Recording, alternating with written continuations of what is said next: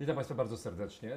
Moimi gośćmi i Państwa gośćmi są Jacek Dukaj oraz Tomek Bagiński. Nie trzeba ich Państwu przedstawiać i też trudno ich przedstawić, dlatego że wśród ich aktywności jest tak wiele rozmaitych dzieł, tak wiele rozmaitych działań, e, że boję się, e, że coś bym pominął. E, Ale na użytek tej rozmowy przyjąłem taką zasadę, która będzie moim zdaniem zgodna z tym, co oni na co dzień robią. Mianowicie, że Jacek będzie odpowiadał bardziej za słowo, a Tomek będzie bardziej odpowiadał za obraz. To jest oczywiście umowne, dlatego że jak Państwo doskonale wiedzą, od lat znając się ze sobą i współpracując, nie mogą jeden zrezygnować z obrazu, mimo że zajmuje się słowem, a drugi nie może zrezygnować ze słowa, mimo że zajmuje się e, obrazem. Postaram się dowiedzieć, dlaczego ich tak do siebie ciągnie, do tego, co robią i w jaki sposób udaje im się przez tak długi czas zachować tak wysoki poziom, mimo tak wielu różnic dotyczących zarówno podejścia do tego, co robią, jak i do w ogóle kultury. Ja się nazywam, proszę Państwa, Grzegorz Jankowicz i mam ogromną przyjemność poprowadzić tę rozmowę, która została przez naszych producentów zaanonsowana jako spotkanie wody z ogniem i ja niby mam e, tę wodę z ogniem e, pogodzić. Oni mnie chyba nie znają nie przyszedłem tutaj z, taką, e, z takim pomysłem. Poza tym, jeśli oni się znają od tak dawna i tak długo ze sobą współpracują, to znaczy, że nikogo, żadnego z Was e, nie trzeba z drugim e, godzić. Chciałbym trochę poróżnienia wprowadzić, ale nie trwałego, tylko i wyłącznie, oliwą w tym ogniu. wyłącznie na użytek naszej, Pytanie, gdzie, e, ta, gdzie jest ta woda ognista? naszej e, rozmowy. E, Pierwsze moje pytanie jest następujące. Otóż w powieści Wiktora Hugo, e, Katedra Najświętszej Marii Panny w Paryżu, pojawia się główny bohater, jeden z głównych bohaterów, Claudiusz e, Frollo, który mówi w pewnym momencie tak. To zabije tamto. Księga zabije katedrę.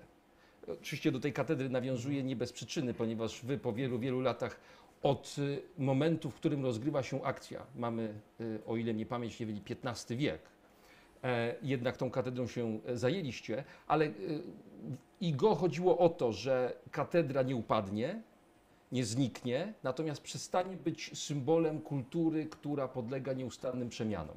Przestanie być dominującą praktyką, przestanie być takim magnetycznym punktem, wokół którego gromadzą się artyści, wokół którego gromadzą się ludzie, wokół którego rozwija się kultura.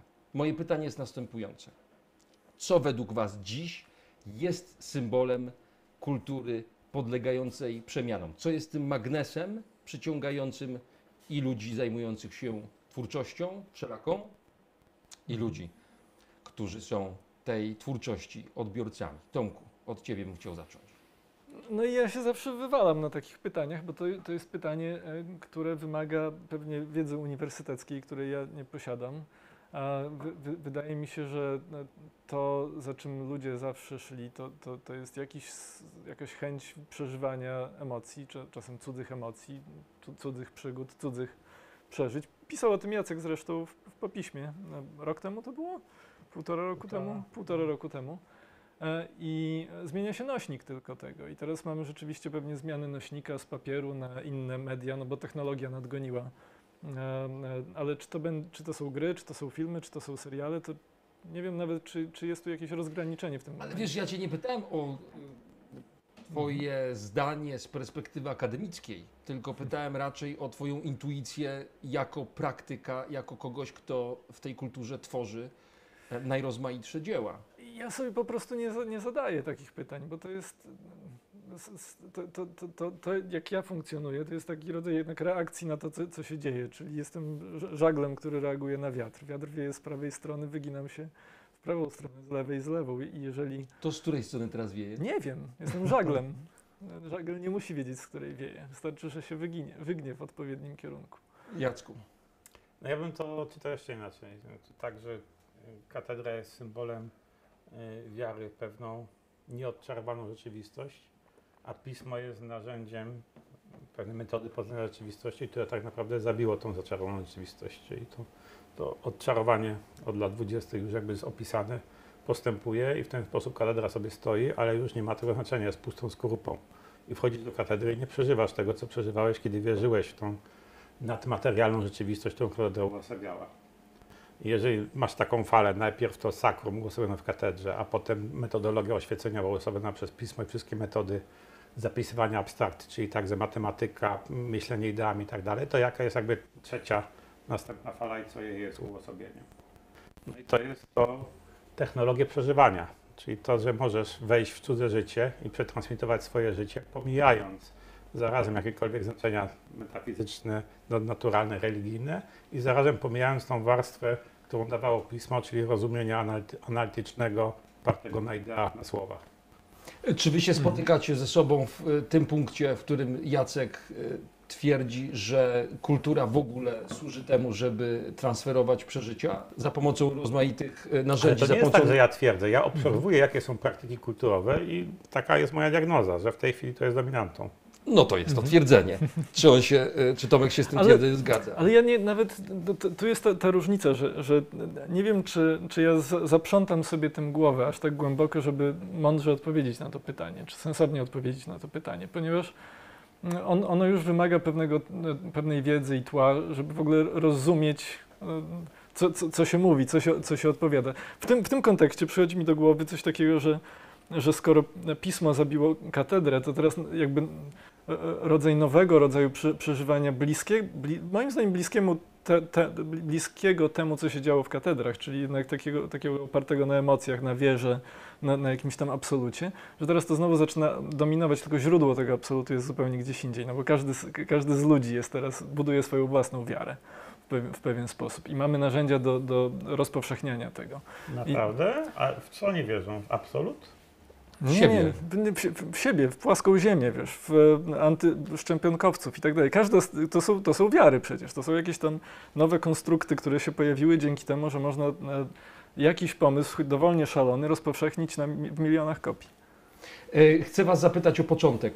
To pewnie wielokrotnie w, przy różnych okazjach wyjaśnialiście, ale ja od Was dwóch nigdy tego na żywo nie usłyszałem. Zakładam, że nie jest to również wiedza powszechna dla naszych e, widzów. Mianowicie, jak e, Tomku doszło do tego, że w pewnym momencie zdecydowałeś się e, zwrócić e, w stronę tej katedry, katedry, którą napisał Jacek Dukaj?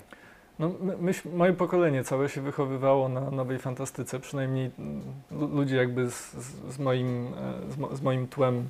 Z, z, no, no, no, g- gdzieś tam podejrzewam, że e, ty też jesteś z tego pokolenia, które się wychowywało na, e, na fantastyce i na nowej fantastyce i tam Jacek przecież się pojawił bardzo wcześnie jako tak zwane cudowne dziecko z opowiadaniem Złota Katedra, które... Złota galera. I, i, Złota Galera, przepraszam, gdzie e, powstała taka legenda e, 16-letniego chłopaka, który zamknięty w domu e, na, na, napisał fe, fenomenalne opowiadanie, które rzeczywiście zrobiło wtedy na mnie duże wrażenie i e, ponieważ ten nacisk e, książek, ilości książek, ilości kontentu, który się pojawiał wtedy w tamtych czasach był dosyć mały, to było łatwo też śledzić kolejne opowiadania, kolejne rzeczy. To były wydarzenia w pewien sposób, czyli pojawiało się nowe opowiadanie Jacka Dukaja, tak jak się pojawiało nowe opowiadanie e, Sapkowskiego czy innych autorów tamtych czasów, no to to było wydarzenie, no bo to się pojawiało raz na rok, na półtora.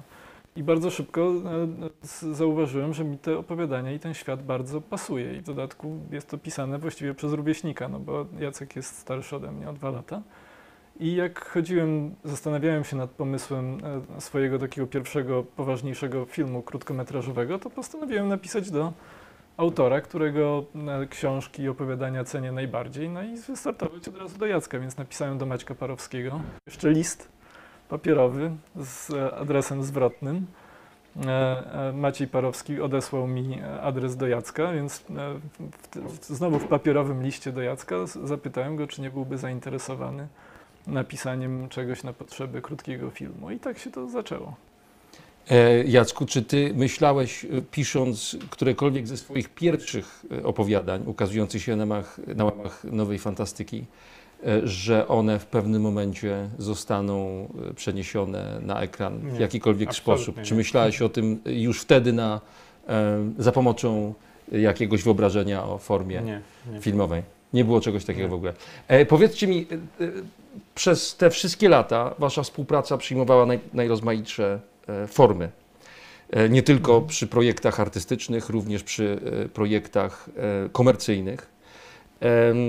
Czy ta e, wasza współpraca wpłynęła na sposób, w jaki postrzegaliście i teraz postrzegacie wasze medium najbliższe, e, to medium, w którym najczęściej pracujecie? Czy fakt, że na przykład Tomku zajmujesz się tak intensywnie literaturą pisaną przez Jacka Dukaja, wpływa na to, e, jak dziś robisz filmy, a No wiesz, no ja bym, Hmm. przypuszczam, w ogóle bym nie napisał po piśmie i nie sformułowałbym tej e, bez tej teorii, współpracy? Gdyby nie został wciągnięty przez Tomka w to medium bardzo wy, wypłukane z myślenia abstrakcyjnego i ze słów, czyli f- film albo serial, w medium audiowizualne. No Jakby dopiero jakby to poznanie i ten kontrast mi uświadomił, na czym polegają te różnice, jaka jest specyfika i na czym, na czym polega zmiana cywilizacyjna, którą teraz przeżywamy. Więc Ale chcesz powiedzieć, że gdyby nie Tomek Bagiński, to nie sformułowałbyś Nie, e, tak, teorii tak, kresu, mi się, że tak. kresu tak, y, tak. kultury pisma? tak, wydaje mi się, że tak. No i ja tu jestem tym barbarzyńcą, który właśnie no, Tomek, pokazuje, to, że- co że zostało przed chwilą skończyło, to- wypowiedziane, oznacza, że przede wszystkim na tobie spoczywa odpowiedzialność. Tak, ja, ja narozrabiałem. A prawda jest taka, że jak przeczytałem pierwszy szkic e, po piśmie, to bardzo się nie zgadzałem z, teza, z tezami, które są tam zawarte. To, to we mnie też tak na- narastało. I mniej więcej 3-4 miesiące, może pół roku po przeczytaniu dopiero zacząłem tak, aha, o- zau- zauważać te procesy, o których pisze Jacek i teraz e, sam już nie czytam. Ja mam do was, Pociągnij ten wątek. że nie czyta? Nie, czy, czytam, ale czytam, Nie wierzę mu za bardzo, czytam zawodowo, czyta. czytam, e, czytam ogromną ilość rzeczy, ale zawodowo, to jest już praca, to już nie jest... Nie, nie wierzę. Zaraz o, tym, e, o, o to was będę pytał. Jeszcze do państwa kieruję e, swoje słowa. Mianowicie możecie państwo zadawać również pytania Jackowi Dukajowi i Tomkowi Bagińskiemu. Mniej więcej przez godzinę będziemy rozmawiać między sobą, a potem zadam naszym gościom pytania, które Państwo nam e, prześlecie, więc bardzo do tego, e, do tego zachęcam. Ale zaraz, zaraz, Tomek, czy to Mhm. znaczy, że czytasz wyłącznie dlatego, że musisz, ponieważ od tego Nie zależy Twój nie, nie kolejny projekt filmowy? Nie wyłącznie, ale coraz ciężej mi znaleźć coś, co mi sprawia przyjemność w czytaniu. Jest kilku pisarzy, których śledzę, których, których rzeczywiście czytam to co, to, co wychodzi. Nie wiem, oczywiście Ja- Jacka Dukaja, Neil Stevenson jest takim pisarzem, um, e, e, David Mitchell jest takim pi- pisarzem pewnie.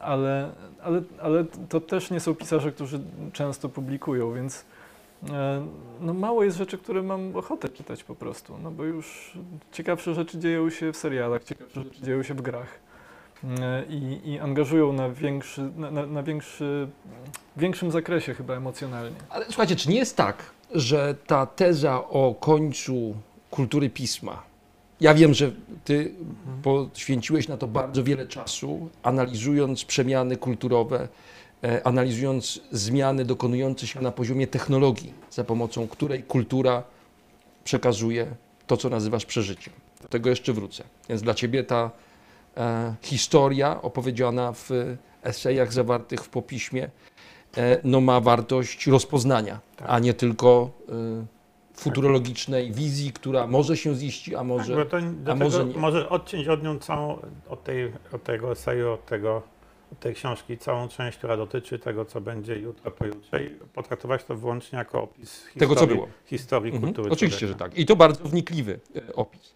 Ale mam e, taką, taką, takie oto pytanie. Mianowicie e, słynna anegdota o Aleksandrze Wielkim, który ma, jest chwilę przed podjęciem jakiejś fundamentalnej decyzji, od której zależą losy imperium.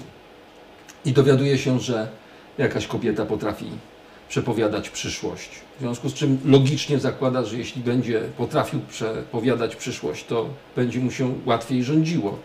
Więc każe tę kobietę do siebie sprowadzić, ale jest nieufny, w związku z czym nie pozwala jej przepowiedzieć dla siebie przyszłości, tylko chce od niej wytargać sekret przepowiadania e, przyszłości. Ona mu mówi, że to jest bardzo proste, trzeba rozpalić ogień, patrzeć w dym i z tego dymu e, można wszystko wyczytać, ale nie można w tym czasie myśleć o lewym oku krokodyla. Można o prawym, ale o lewym oku krokodyla nie sposób. No i oczywiście Aleksander Wielki nie może wróżyć, e, nie może sobie e, przepowiedzieć przyszłości, ponieważ cały czas myśli o oku krokodyla. Czy nie jest trochę tak z e, tą opowieścią o kresie pisma, o y, przededniu epoki postpiśmiennej, że spodziewamy się, że dojdzie do takiego momentu, kiedy pismo zniknie, ale tak naprawdę wszyscy cały czas non-stop jako punkt odniesienia, za punkt odniesienia mamy, mamy pismo. A kto są ci wszyscy?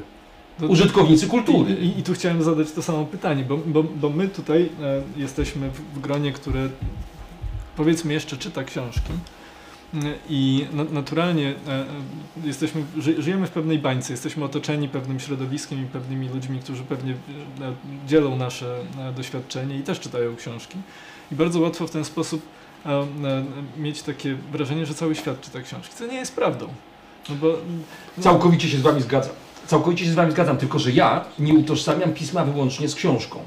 E, Przychodzi mi do głowy e, Umberto Eco, który pod koniec swojego życia e, w takim cyklu rozmów, chyba jego rozmówcą był Jean-Claude Carrière, mogę się mylić, ale w tych rozmowach postawił tezę, że my na powrót za sprawą internetu powracamy do pisma, do alfabetu jako. Ja byłem zwolennikiem tej tezy w szczycie używania e-maili, posługiwania się pismem w internecie, a w tej chwili to przechodzi na komunikację głosową, y, wizualną.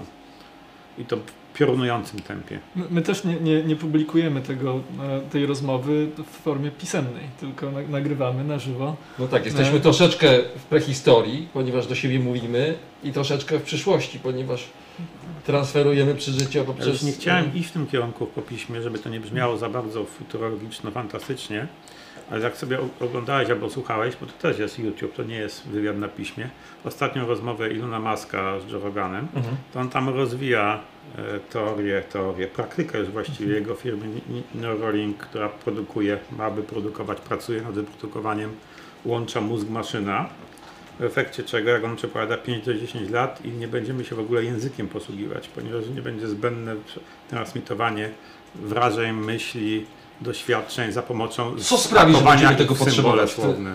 Co sprawi, że będziemy tego potrzebować? Pismo nie powstało e, przecież po to, żeby transferować przeżycia. Ono powstało Mhm. po to, żeby utrwalić wiedzę, po to, żeby utrwalić No informacje dotyczące buchalterii. Tak jest. E, a nie po to, żeby natychmiast e, transferować e, przeżycia, które artysta, poeta chciał przekazać innym. Tak. Co zatem sprawi, że na poziomie ekonomicznym czy społecznym, że przestaniemy się posługiwać takimi narzędziami, które wydają się dość ekonomiczne. Przed, tylko jeszcze jedno No. słowo. Przed rozpoczęciem tej rozmowy powiedziałeś, że aby powstał wiersz, potrzebne są zerowe nakłady ekonomiczne. Kartka i y, zwykły ołówek wystarczą do tego, żeby y, wyrazić, opowiedzieć, opisać swoje przeżycia i je wytransferować. Tak. Żadnych nakładów finansowych. To się wydaje bardzo ekonomiczne. Mhm. Tylko, że teraz e, technologia to dogoniła, no bo e, powiedzmy, e, oczy- oczywiście telefon coś kosztuje, tak? Czyli możemy założyć, ale, ale, większość ludzi ma jakiś telefon, którym można się nagrać. I w, I w tym momencie nagranie filmiku ze sobą też ma zerowe koszty ekonomiczne. Ale czy nie jest tak? Y, Ja oczywiście jestem tą teorią zafascynowany. Ja wiem, że to nie jest dla Ciebie teoria. Ja jako nie do końca jeszcze przekonany y, mówię o tym ostrożnie. Czy nie jest tak, że tego rodzaju refleksja y, uniwersalizuje i absolutyzuje potrzebę przekazywania przeżyć? Może nie jest wcale tak, że cała kultura stoi właśnie na tym, trzyma się na potrzebie, fundamentalnym pragnieniu transmisji, transferu przeżyć. Może po prostu chodzi o coś zupełnie innego. A to O co to nie wiem, ale. Ale o co właśnie? To No nie wiem, nie, ale no bo wiecie, no, to nie jest tak, że na przykład przeżycie, kategoria przeżycia w ogóle nie jest wcale taka stara. Mhm. Ona się pojawiła w kulturze mniej więcej w XIX wieku w takiej postaci, w jakiej pojawia się w Twojej książce. Wcześniej Okej. o tym w ten sposób nie Ale myślałem. Moja teza jest otwarta. Powiedz mi, jakie inne kategorie kultury, nie przeżycia, ale powiedzmy jakości kultury, możesz e, wytworzyć, wartościować pozytywnie, które nie byłyby do przekazania za pomocą tej technologii transferu. Których nie można prze, Tak. przekazać w ten sposób. To znaczy tej, tej przyszłościowej trans, y, y, Nie, nie przyszłość, obecnej, audiowizualnej, tej, która rejestruje doświadczenia zmysłowe i przekazuje je. większość można. Prawda? Mhm. Więc nawet bez dodatkowych trików i wartościowania dostajecie jakaś nisza. Ja tą niszę zresztą tam próbowałem wydestylować i opisać Mhm. po piśmie. Więc nawet nie posługując się kategoriami przeżyć nie walcząc o to, czy one są uniwersalne, jak bardzo głęboko sięgają w historię kultury człowieka i tak dalej, widzisz, że dla pisma zostaje pewien wyjątek, wycinek. Rozumiem. E, I, i, i, I żeby było jasne, to, to, to zresztą też e, Jacek w książce swojej pisze, pismo nie zginie całkowicie, bo pismo pozostanie narzędziem dla ludzi tworzących content. na Tak jak pozostała katedra. Dokładnie. przykład. Tylko, że wchodzisz do katedry i twoje myśli już nie biegną z automatu do wielkich, transcendentalnych konstrukcji, które przeżywasz całym sobą i żyjesz tam między aniołami, ideami i bytami Platona, tylko podziwiasz architekturę, doświadczasz piękna widzialnego, jesteś w świecie zmysłowym. Ale z drugiej strony też jeszcze, żeby e, ostatni, ostatnie pytanie e, zadać dotyczące tego zagadnienia, e, kiedy mowa o e, przeżyciu, e, kiedy ty o tym przeżyciu piszesz i o transferze bezpośrednim przeżyć, to tam też nie chodzi o żadne wzniosłe Tak. cele, ani o wzniosłą Tak, i ideę, to jest, wiesz, to jest pierwszą dyskusja, którą, którą ja miałem z wieloma osobami, które poczuły się osobiście zaatakowane przez moją tezę o związku pisma z systemami religijnymi, ogólnie mówiąc transcendencją, z metafizyką. Mhm. Czyli w momencie, kiedy jesteś wypłukany z tego myślunku, kiedy przestajesz być zdolny do myślenia w ten sposób i ten, takiego ko- konceptualizowania rzeczywistości, także tej niedoświadczonej zmysłami, to religia w tradycyjnym rozumieniu religijności przestaje być dla Ciebie dostępna. Ponieważ wszystko, co Rozumiem. masz dostarczane przez te techniki transferu zmysłowego, jest z, de- z definicji zmysłowe. Czyli to są rzeczy, które widzisz, słyszysz, możesz dotknąć i tak dalej. A transcendencja z definicji opiera się na tym, co jest pozazmysłowe. Te, w tym się mieszczą także takie kategorie jak idee. Prawda? Więc y, to nie jest jakby mój atak, tylko to jest konstatacja tego obcięcia, tego zredukowania do powierzchni zmysłowej. No, Można argumentować w ten sposób, że jednak religia w kulturze zachodniej zawsze potrzebowała zmysłowego nośnika w postaci obrazu. Więc nie jest tak, że. e, Raczej ja bym powiedział, że potrzebowała nośnika w postaci słowa. Nie I bez sło- kozery to się wszystko, no, te wielkie religie są religiami księgi, prawda? Y, To się oczywiście historycznie rozwijało. Słowo i obraz odgrywały moim zdaniem kluczową rolę. To są zmysłowe nośniki transcendencji, jakby nie było. Ale słuchajcie, nie wchodźmy aż tak głęboko w tak y, interesujące, inspirujące, acz skomplikowane kwestie, bo mam dla Was jeszcze kilka innych, proszę Państwa, lżejszych pytań. Y, Proszę y, nie y, denerwujcie się, jeśli takie zdenerwowanie się pojawiło. Mam nadzieję, że nie. Bardzo Państwa tymi pytaniami. Za co ty przepraszasz? Za bardzo wszedłeś w myślenie słowem. O ideach, abstraktach. E, prawda? Uwielbiam, uwielbiam myślenie słowem. E, Nie będę się tego wypierał. Ja również w tej rozmowie stoję e, po tej stronie e, barykady. Ale czujesz skąd wieje wiatr. E, Ale nie aż tak bardzo jak e, Tomek reaguje, ponieważ nie widzę w sobie tej, tego potencjału żagla. E, Chcę Was zapytać o rzecz następującą. Czy jest, żeby robić to, o czym Ty, Jacku, piszesz w swojej książce, czyli chcieć żyć kogoś, żyć życiem kogoś innego, transferować przeżycia własne i odbierać przeżycia transferowane przez kogoś, żeby chcieć tego, żeby pojawiło się takie pragnienie, e, musi się e, pojawiać w kulturze jakaś hierarchia.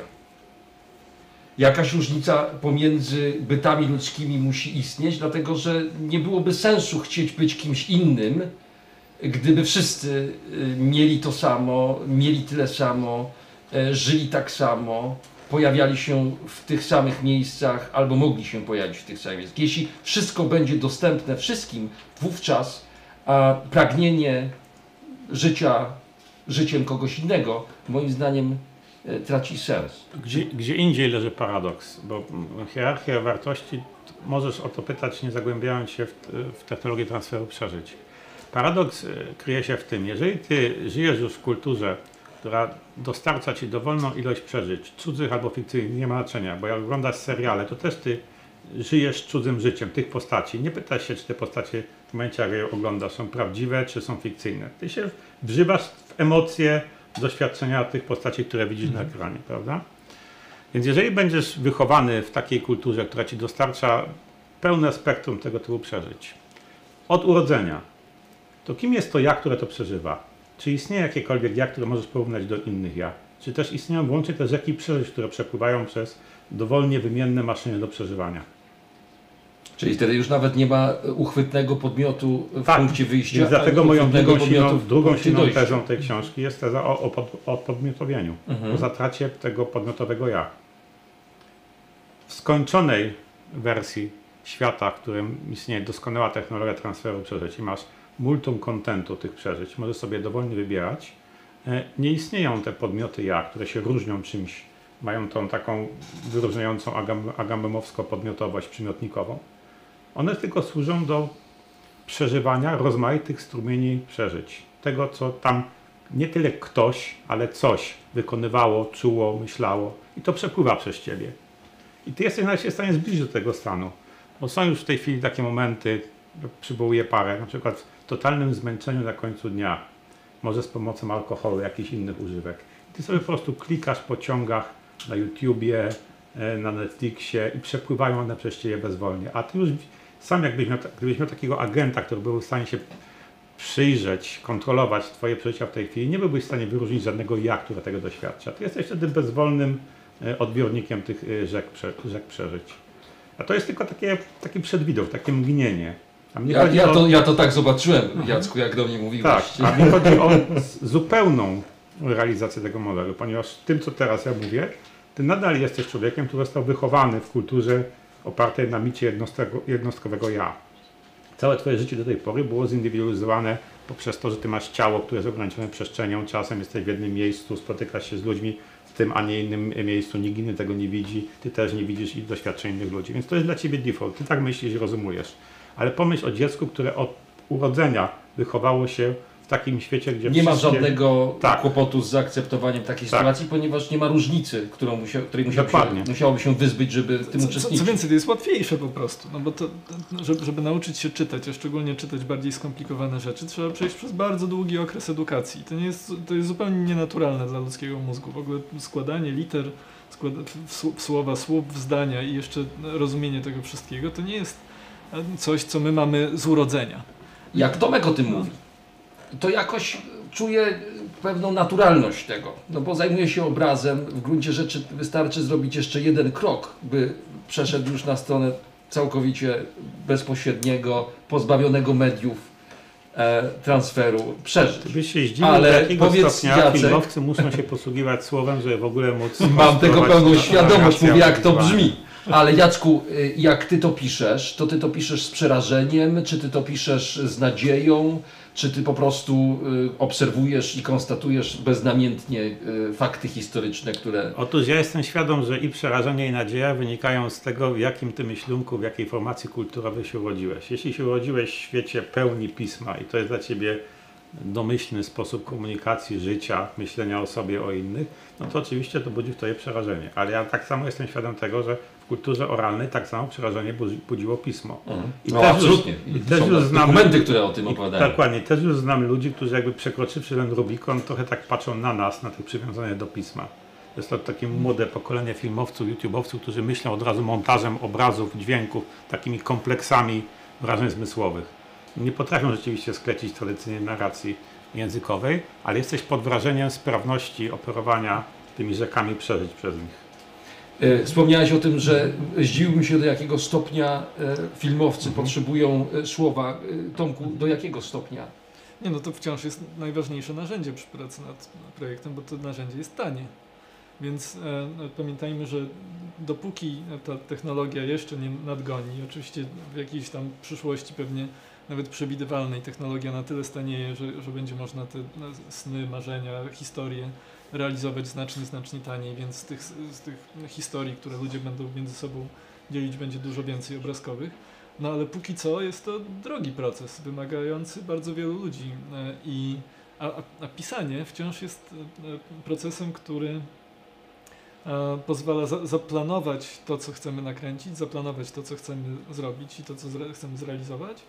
E, Relatywnie szybko, w relatywnie małym gronie ludzi i relatywnie tanio, bo rzeczywiście potrzebujemy, nie wiem, kartki papieru czy laptopa, e, żeby tą pracę wykonać, więc pismo wciąż jeszcze i długo jeszcze będzie funkcjonować jako narzędzie do realizowania tych No ale chodzi też o taki, taki wymiar obecności pisma w postaci gotowego tekstu, który na przykład się ekranizuje. Pamiętam, że w jednym z wywiadów y, po y, emisji serialu y, Wiedźmin powiedziałeś, że jeśli ekranizując uda się e, oddać ton, tonację e, tekstu pisanego, to wtedy wszelkie przeróbki, e, które pojawiają się na poziomie scenariusza serialowego, nie rażą ani nie są żadnym kłopotem.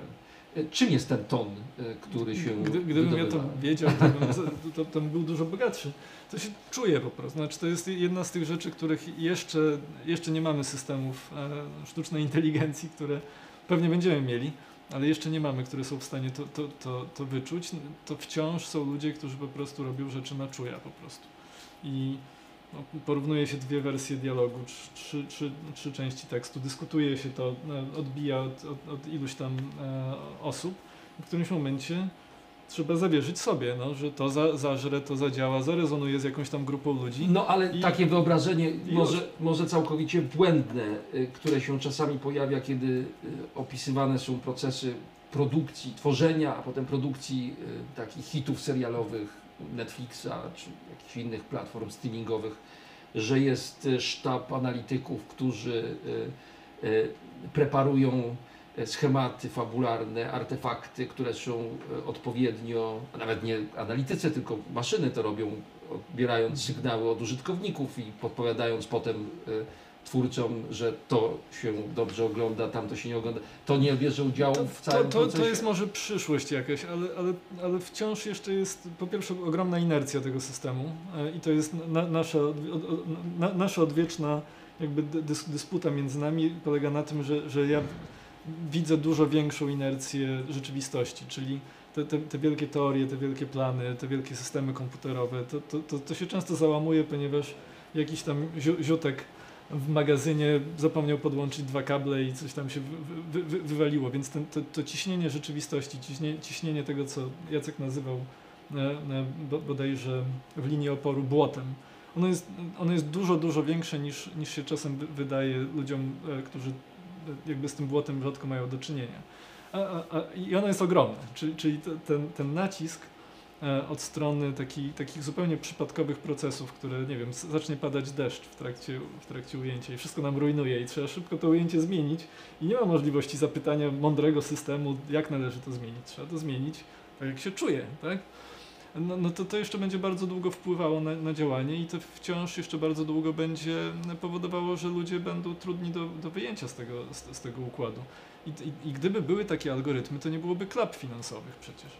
A, są bez przerwy. I to właśnie na projektach, które są, zostały tak algorytmicznie zaprojektowane. Czyli wpompowano tam 300 milionów dolarów, siedziało nad tym gremium ludzi, a, a film się i tak zawala. No to znaczy, że czegoś tam zabrakło. Zabrakło właśnie tego wyczucia, tej, tego jednego głosu, który mówi, że a jednak zróbmy tak. To jest bardzo romantyczne, co mówisz Tomku i y, To chcę wierzyć, że tak jest. tą wizję. Ponieważ jedna zmiana już nastąpiła i niezależnie od tego błota i braku jeszcze tak rozwiniętych algorytmów, które byłyby w stanie to projektować, jest już jedna fundamentalna zmiana i to jest to, że mamy narzędzie do mierzenia bardzo już precyzyjnie odbioru e, kultury. I to nam, Tak, ale to jest tylko feedback. To znaczy ja nam- wiem, ale ten mamy feedback to, wpływa na twórców. I wpływa, masz zupełnie inną sytuację, kiedy ty trochę. piszesz w No. pustkę, Mhm. tworzysz pustkę i możesz tylko wnioskować na podstawie jakichś wyobrażeń, rozmów z Ale przyjaciółmi. ist, nigdy nie istniało pisanie w pustkę. To chyba Zawsze jakoś- istniało, to- to- zawsze istniało. Miałeś, jak sobie czytasz historię, biografię rozmaitych artystów, to ich głównym, główną tęsknotą było to, żeby wiedzieć, czy się podobało, a jeśli się nie podobało, to dlaczego. I, i nie miałeś tych narzędzi, a teraz masz narzędzia i Przypadki, jeszcze... w których to nie było istotne, są e, skrajne i rzadkie. Nawet Znaczy- tam, gdzie byśmy tego się nie spodziewali, po tych pisarkach, pisarzach. Nie, nie, ale ja właśnie o tym mówię, że, że pisanie w pustkę dla, dla artysty nie, nie, to, to, to, to są właśnie rzadkie przypadki. Oni zawsze właśnie ch- nie chcieliby pisać w pustkę. Tak, Chcieli- tylko że nie mieli narzędzi, a teraz mają. Mieli prymitywne narzędzia. I, No. A te narzędzia, które mamy są równie prymitywne. One są troszeczkę bardziej Mm. zaawansowane. Mnie się proszę za bardzo podoba, że jak Państwo widzą, już są różnice. Yy, Nie, nie o to właśnie chodziło, ale nie po to, żeby te różnice tak o e, wykwitły. Gdyby były prawdziwe różnice, to byłby ring, byśmy mieli rękawice, byłoby, no i, i, to, i to oglądałoby I bezpośredni transfer. I, i oglądałoby transfer to dużo więcej osób. Dużo więcej E, osób. Pytam o to, o to, w jaki sposób cała ta y, procedura przenoszenia tekstu na ekran y, funkcjonuje. mając wyłącznie pewne wyobrażenia, czasem Jacek mi coś opowiada, kiedy się spotkamy, by- żeby dotrzeć do punktu, w którym Was zagadnę o starość aksolotla. To Mhm. znaczy, jak doszło do tego, że w pewnym momencie Mhm. jeden koncept, w zasadzie część jednego zdania e, No stała nie, się... Nie aż tak, nie aż tak. Stała się I to jest akurat piękna ilustracja. To jest Możemy- wspaniała ilustracja, Możemy, ale przes- tak- możemy przeskoczyć do tego bezpośrednio, bo no, po prostu w, w- w stanie nietrzeźwości wracałem metrem z centrum miasta i przyszło mi do głowy, jak wy, wygryźć jeden akapit z, z, całej starości Axolotla i zamienić to w serial. I zapytałem Jacka, czy, czy mo, mogę się tym zabawić w ten sposób. A Jacek powiedział, a tam, czemu nie? Więc był to całkowicie impuls ym, przypadkowy, jakieś tam zetknięcie trzech neuronów, które, które spowodowało tą lawinę. A to, że potem oczywiście myśleliśmy, jak to uformata uformatować i że to przeszło e, pięć czy sześć iteracji, zanim w ogóle zostało przedstawione jakimkolwiek e, kupcom, no to jest zupełnie inna historia. Ale tu jest właśnie moja teza, że to, że ty masz te trzy, trzy neurony, które w ten sposób funkcjonują, a także, że wiemy jak to sformatować, żeby przeszło, to to jest już sposób, w jaki logos procesuje się na naszych umysłach. Bardzo, bardzo możliwe, ale I Ale czy to jest tak, Jacku, Jacku że po prostu ty, tobie by nie przyszło do głowy, żeby to w ten sposób przenieść na, na ekran? Wiesz, może by mi nawet przyszło, ale nie miałbym przekonania, żeby cokolwiek z tym zrobić. Dlaczego? Dlaczego? To jest to pytanie, szczerze wam powiem, to pytanie zadaję sobie wielokrotnie, ponieważ z tych rozmów, które odbyliśmy, nie było ich tak wiele, ale jednak były intensywne, to zawsze sobie zadawałem pytanie, dlaczego ty, Jacku, tego troszeczkę nie uprościsz? E, dając być może szansę e, odbiorcom twojej e, prozy, nie tylko tym, którzy czytają, czytelniczkom, czytelnikom, ale tym, którzy na przykład wykorzystują coś takiego do, jako podstawę filmu fabularnego. Czy, Ale czy czy to serialu. jest to to, które miałbym uprościć? Fabułę. Fabułę? No tak. Czy uważasz, że moje fabuły są skomplikowane? Czasami bardzo. no nie, nie. Nie? Nie.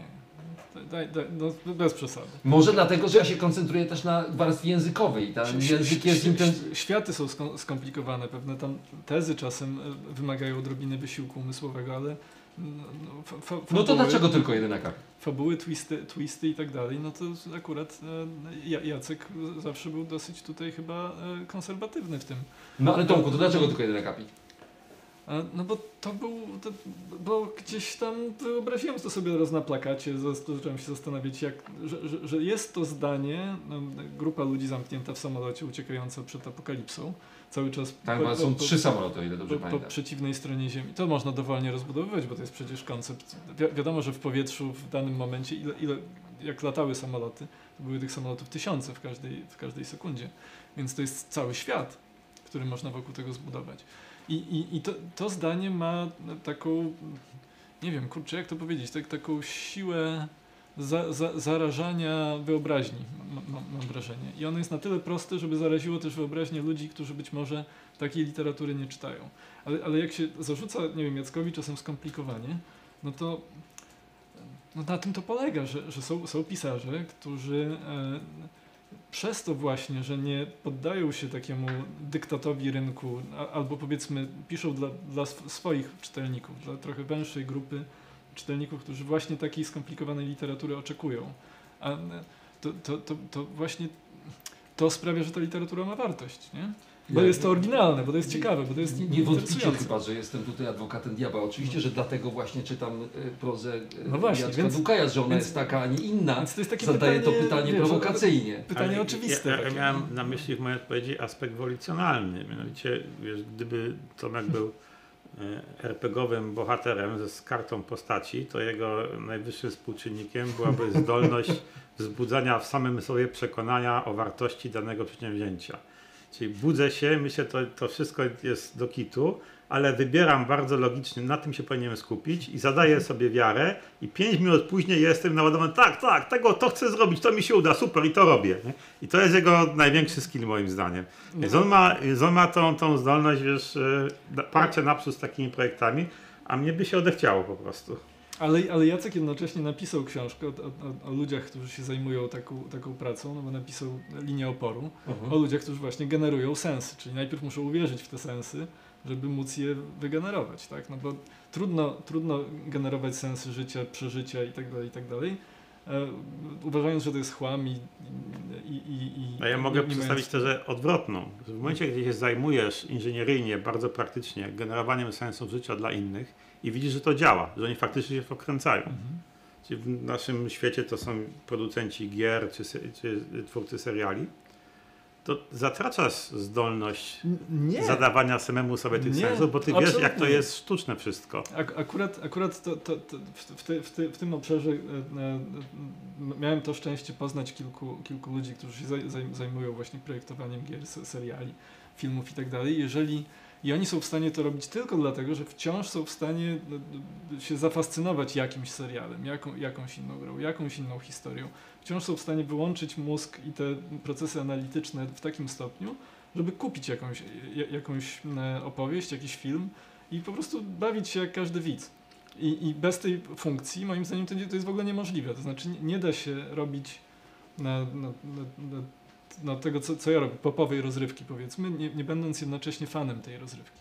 No bo w, w, w innym wypadku, no to po, po co to robić? No nie, nie wierzę w Czyli ten... wiesz, według twojej interpretacji, jak zostaniesz bardzo dobrym showrunnerem z wielką wiedzą, doświadczeniem i systemem analitycznym, który opisuje wszelkie możliwe seriale, jakie możesz nakręcić, to w tym momencie przestajesz być zdolny do bycia showrunnerem. Mm, w jakiejś takiej super ekstremalnej formie, tak, tylko że znowu inercja jest tak potężna i ciśnienie rzeczywistości jest tak po- potężne, że, Że to się nie może że to, zdarzyć. Że to się raczej nie zdarzy. E, Ale a propos y, y, showrunnera, producenta wykonawczego, producenta kreatywnego, y, rozmaitych funkcji, które y, skupiają się w Twoim ręku, kiedy przystępujesz do, y, do pracy z ekranizacją jakiegoś, y, jakiegoś tekstu, e, to czy czujesz mm, odpowiedzialność względem tekstu, który lubisz, e, że ta odpowiedź, bo wspomniałeś wcześniej o tonacji, że ten ton Mhm. trzeba e, uchwycić, ale czy jest coś w rodzaju takiej odpowiedzialności wobec e, tekstu, wobec jego autora, żeby podczas przenoszenia tego na ekran no, czegoś nie uciąć, Je, je, powinno je, być? jeżeli ton jest rzeczywiście największą wartością Mhm. danej książki. Bo nie zawsze tak jest. Bo czasem jest to pomysł, czasem jest to postać, czasem jest to coś innego. Em, a, a, ale, ale, ale tak, no. Je, jeżeli, znaczy staram się zachować to, co sprawiło, że ja się tym zajarałem, tak? Czy, czy, czyli jakoś tam mnie to wk- wkręciło. No bo zakładam, że, że to jest też coś, co, co spowoduje, że inni ludzie się tym e, za- zainteresują i się w- to, w to wkręcą i będą jakoś tam zafascynowani e, e, emocjonalnie w to. I, i, I oczywiście im się jest starszym, im się więcej wie, tym, tym trudniej ten taki dziecięcy entuzjazm sobie wzbudzić, ale to wciąż jeszcze się da zrobić. To wciąż się da zrobić. Y, Pierwszy sezon y, kierunek Noc y, jest. E, Tak. Wykiełkował z jednego Z jednego fragmentu, akap- akapitu, jednego akapitu, y, jak powiedziałem na początku, nieco przesadnie, z kawałka zdania sterości To, to aksolotla. też jest uproszczenie, bo to jest jeden akapit. Tak, wiem, wiem. Ale to też jest cały, cały setup, no bo to, co mnie tam e, jakby, znaczy w ogóle to, to co uważałem za, za, za bardzo oryginalne już w momencie, kiedy, kiedy pierwszy raz przeczytałem tą, tą książkę, to jest cały pomysł apokalipsy oglądanej na żywo. To, tego, ja, ja, tego nie pamiętam z żadnej innej książki, to mi się nigdy nie, nie obiło o, o, o oczy, nie, nie przeczytałem cze- czegoś takiego. I ten ładunek emocjonalny, który, no, znowu w książce to jest jeden rozdział, nie, niewiele się na tym skupiamy, ale ładunek emocjonalny w ogóle czegoś takiego, że mamy absolutnie nieuniknioną nadchodzącą śmierć, która nadejdzie powiedzmy maksymalnie w 12 godzin. I my to jeszcze oglądamy na ekranach, ka- na kamerach, bo, bo, bo elektronika działa po tej stronie, na, na której apokalipsa już się odbyła. No to to jest coś tak, tak nie, to, to, to, w tym jest taki potężny ładunek e, nie, niesamowitych zupełnie emocji, że, że, że to też jest ważne. To nie jest tylko ten akapit, że samolot ucieka Nie, przez- oczywiście, że tak. to jest cały setup, cały świat, czyli tutaj e, trochę było więcej elementów. Y, Jeśli coś y, w tej powieści było dla mnie istotne w kontekście naszej dotychczasowej rozmowy, to to, że ona pokazywała bardzo dobrze taką podzieloną tożsamość y, tych, którzy, aby uniknąć zagłady, e, transferują swoją świadomość y, do elektroniki, a później jednak za, pamiętając o swoim życiu biologicznym, y, za nim y, tęsknią. To trochę y, Czy taka podzielona, sytuacja- czy zakwestionowana? Czyli to takie poczucie, że y, nawet nie wiem, czy to jestem ja, czy to jest tylko moje wspomnienie czegoś, co było przede mną, ale już nie z mną. No, kojarzy mi się to z tym, co powiedziałeś na temat pisma, że ci, którzy wzrastali w myślunku y, pisma, odczuwają pewny, pewien dyskomfort, kiedy pojawia się nowa technologia Tak. służąca do transferu przeżyć. Ci, którzy wzrastają w tej nowej, w tym nowym myślunku, nie mają absolutnie No. żadnego problemu z tym, żeby się e, posługiwać e, nowymi urządzeniami pozwalającymi im osiągnąć ten sam efekt. No i tu jest jeszcze inny problem, czyli taki, mm, on ma swoją nazwę i co jest całe takie dziedzina nauki, która się zajmuje, jak nie jak to po polsku powiedzieć, embodiment, czyli że y, y, umysł nie jest w stanie funkcjonować, jeżeli nie jest zakotwiczony w jakimś konkretnym ciele, które wchodzi w interakcję z otoczeniem fizycznym, środowiskiem. I tylko wtedy on jest w stanie także funkcjonować teoretycznie na poziomach bardzo abstrakcyjnych i intelektualnych. Jeżeli mu tego nie, do, nie dostarczyć, tu zastępnikami są różne wirtualne przestrzenie, to on po prostu kolapsuje, jest niefunkcjonalny. Są rozmaite próby wyjścia z tego paradoksu, ale do tej pory nie znaleziono dobrego. I teraz w mo- w momencie, kiedy masz sytuację, kiedy jesteś w stanie teoretycznie zredukować, to nigdy nie jest powiedziane obiektywnie w książce, ale zredukować swój umysł do jakiegoś kodu zer jedynek i przekopiować go e, do wnętrza programu, to zostajesz pozbawiony tego kompo- komponentu cielesnego. I kim wtedy jesteś? Już nie mówię teraz o jednostkowej tożsamości, tylko w jaki sposób w ogóle możesz funkcjonować jako zdrowy umysł, jako jakiś koherentny strumień świadomości. To Sama kategoria zdrowego umysłu jest po No. stronie tradycyjnej, a nie po stronie tego Więc- ciągu y, danych, to, to jest pytanie. I teraz wiesz, desperackim rozwiązaniem tego jest ten embodiment w Wyhodowanie koślawe e, maszyny, które dają ci przynajmniej pozór interakcji ze środowiskiem, czyli e, takie sceny, kiedy sobie siedzi mech i wielkim łapskiem żelaznym próbuje podnieść kieliszek wódki, żeby zasymulować scenę picia wódki. Nie może się jej napić, nie może posmakować, ale samo odegranie pewnego rytuału daje mu poczucie wejścia w formę człowieczeństwa, która jest mu już niedostępna. Nie? Są tego typu sentymenty. Nie wiem, na ile one są w ogóle Ale, ale przekładane. gdzie, gdzie dotykamy znowu tego, tego, tego tematu, o którym już przed chwilą powiedzieliśmy, że żeby mieć w ogóle frajdę z życia, to trzeba sobie wymyślić te sensy, zacząć je grać i wtedy dopiero mamy, Tak.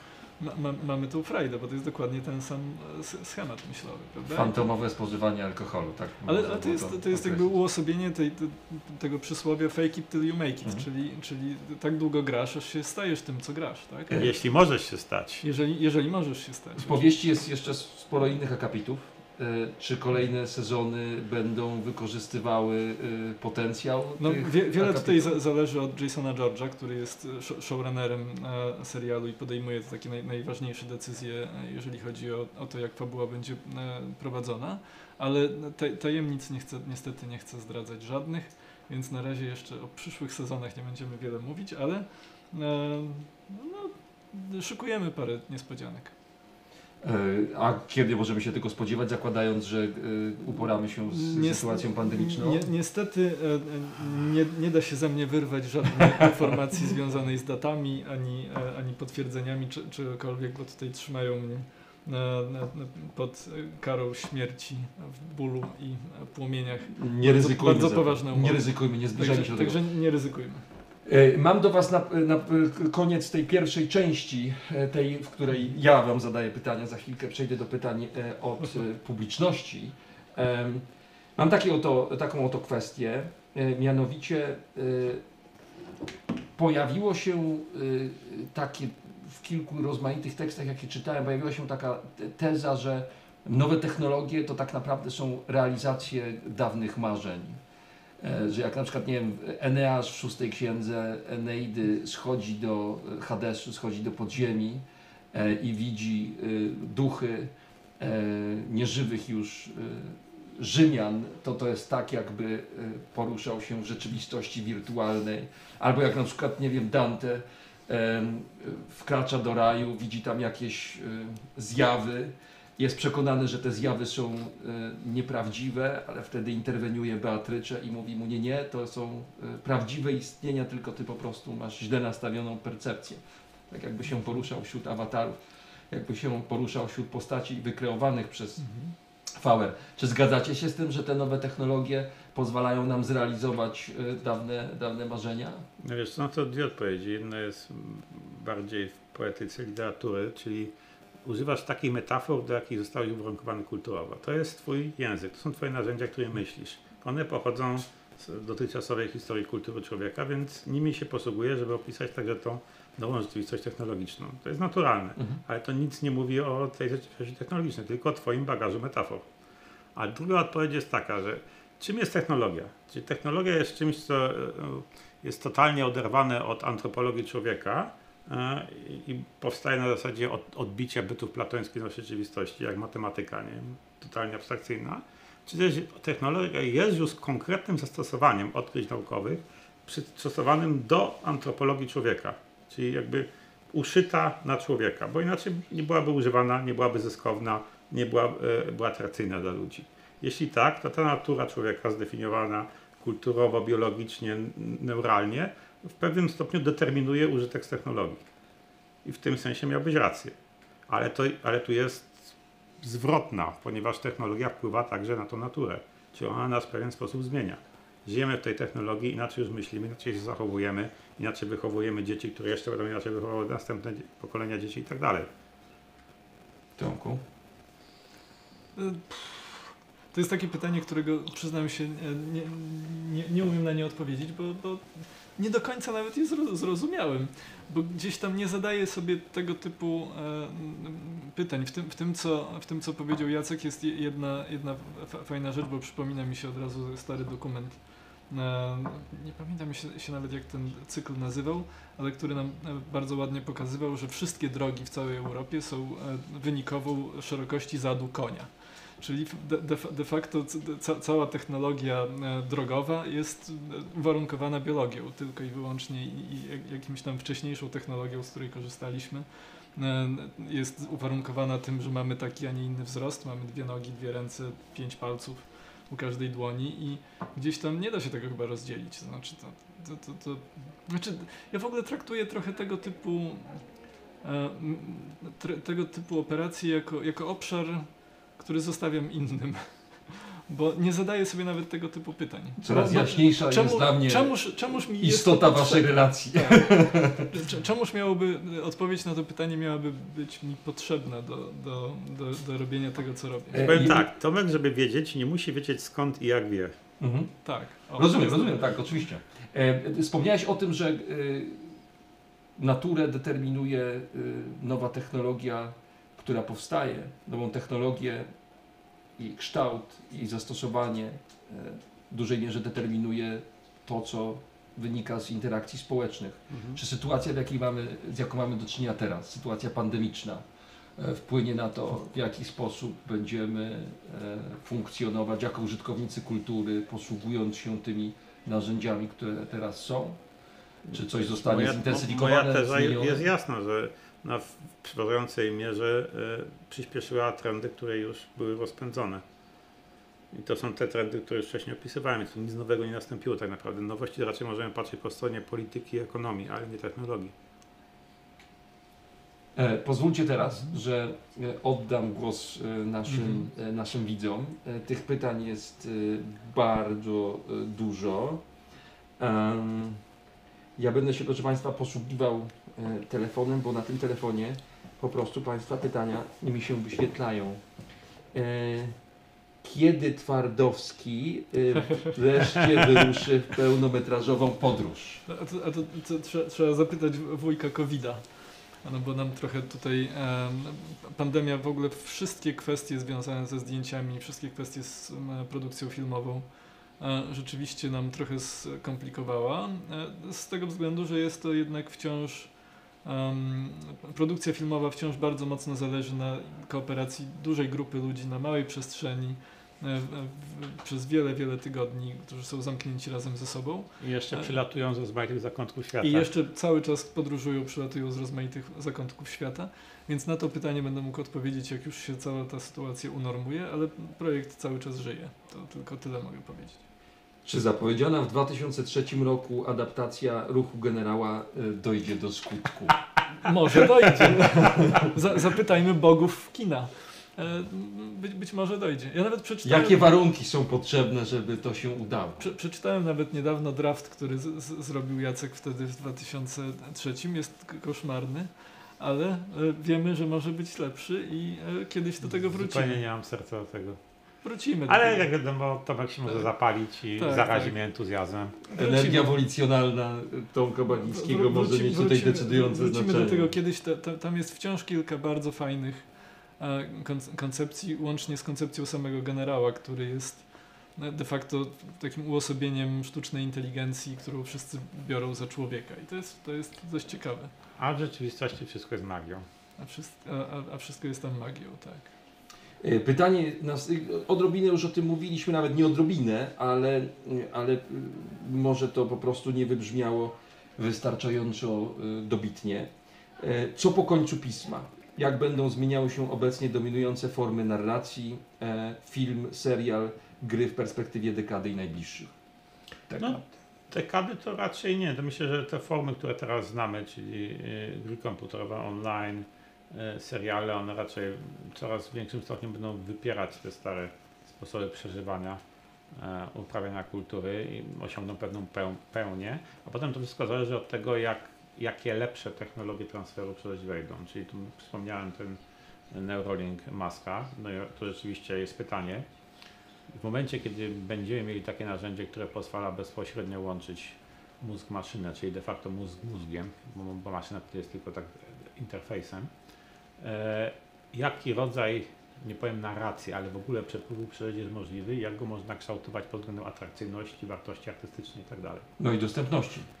To dostępność to jest jakby już kwestia ekonomiczna. Teraz mówię wyłącznie pod kątem Y, e, wartości Samej technologii. tak, tak.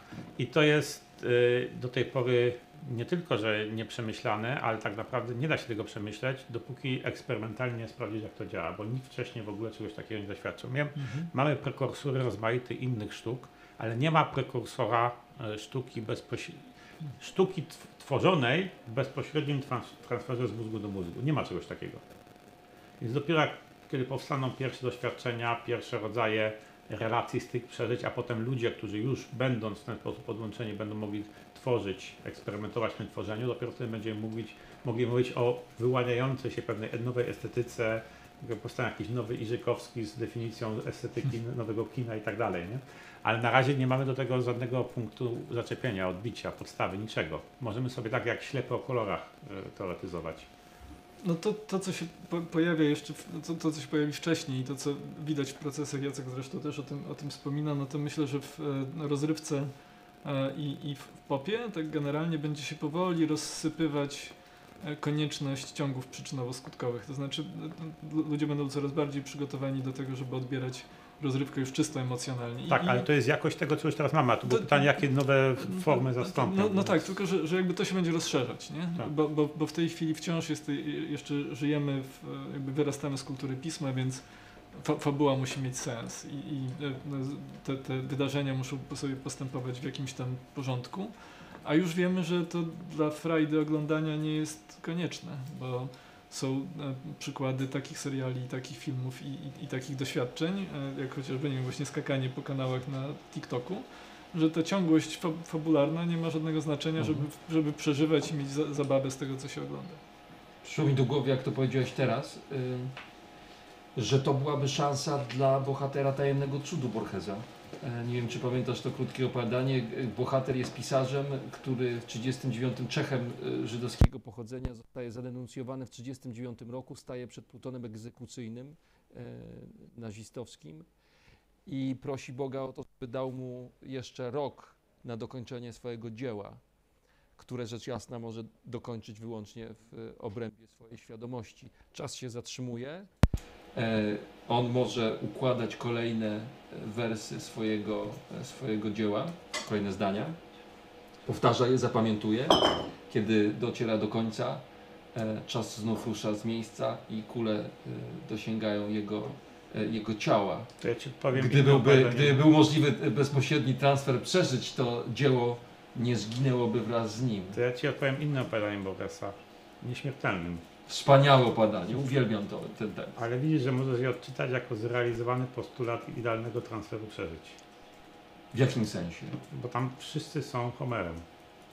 Masz nieskończony ciąg przepływu żyć pod rozmaitymi maskami. Yy, no nie do końca. Nie, nie wiem, czy wszyscy są Homerem. Z Homer- całą pewnością jest tam tak, że Homer... yy, Homer jest elementem koła, które się domyka. I przepływają tam przeżycia przez rozmaitych Zakładając, ludzi, że Państwo nie znają tego opadania, chodzi o to, że y, istnieje miasto nieśmiertelnych, które, y, które chce odnaleźć główny bohater. Kiedy tam dociera, y, a udaje mu się to zrobić, odnajduje na miejscu grupę dzikich ludzi. Streszczenie tego potrwa dłużej niż czytanie samego opowiadania. Mnie się to udaje, proszę Państwa, jeszcze jedno zdanie tylko potrzebuję. Okazuje się, że wśród tych dzikich ludzi jest y, Homer, e, który nic już nie pamięta ze swoich wielkich e, eposów.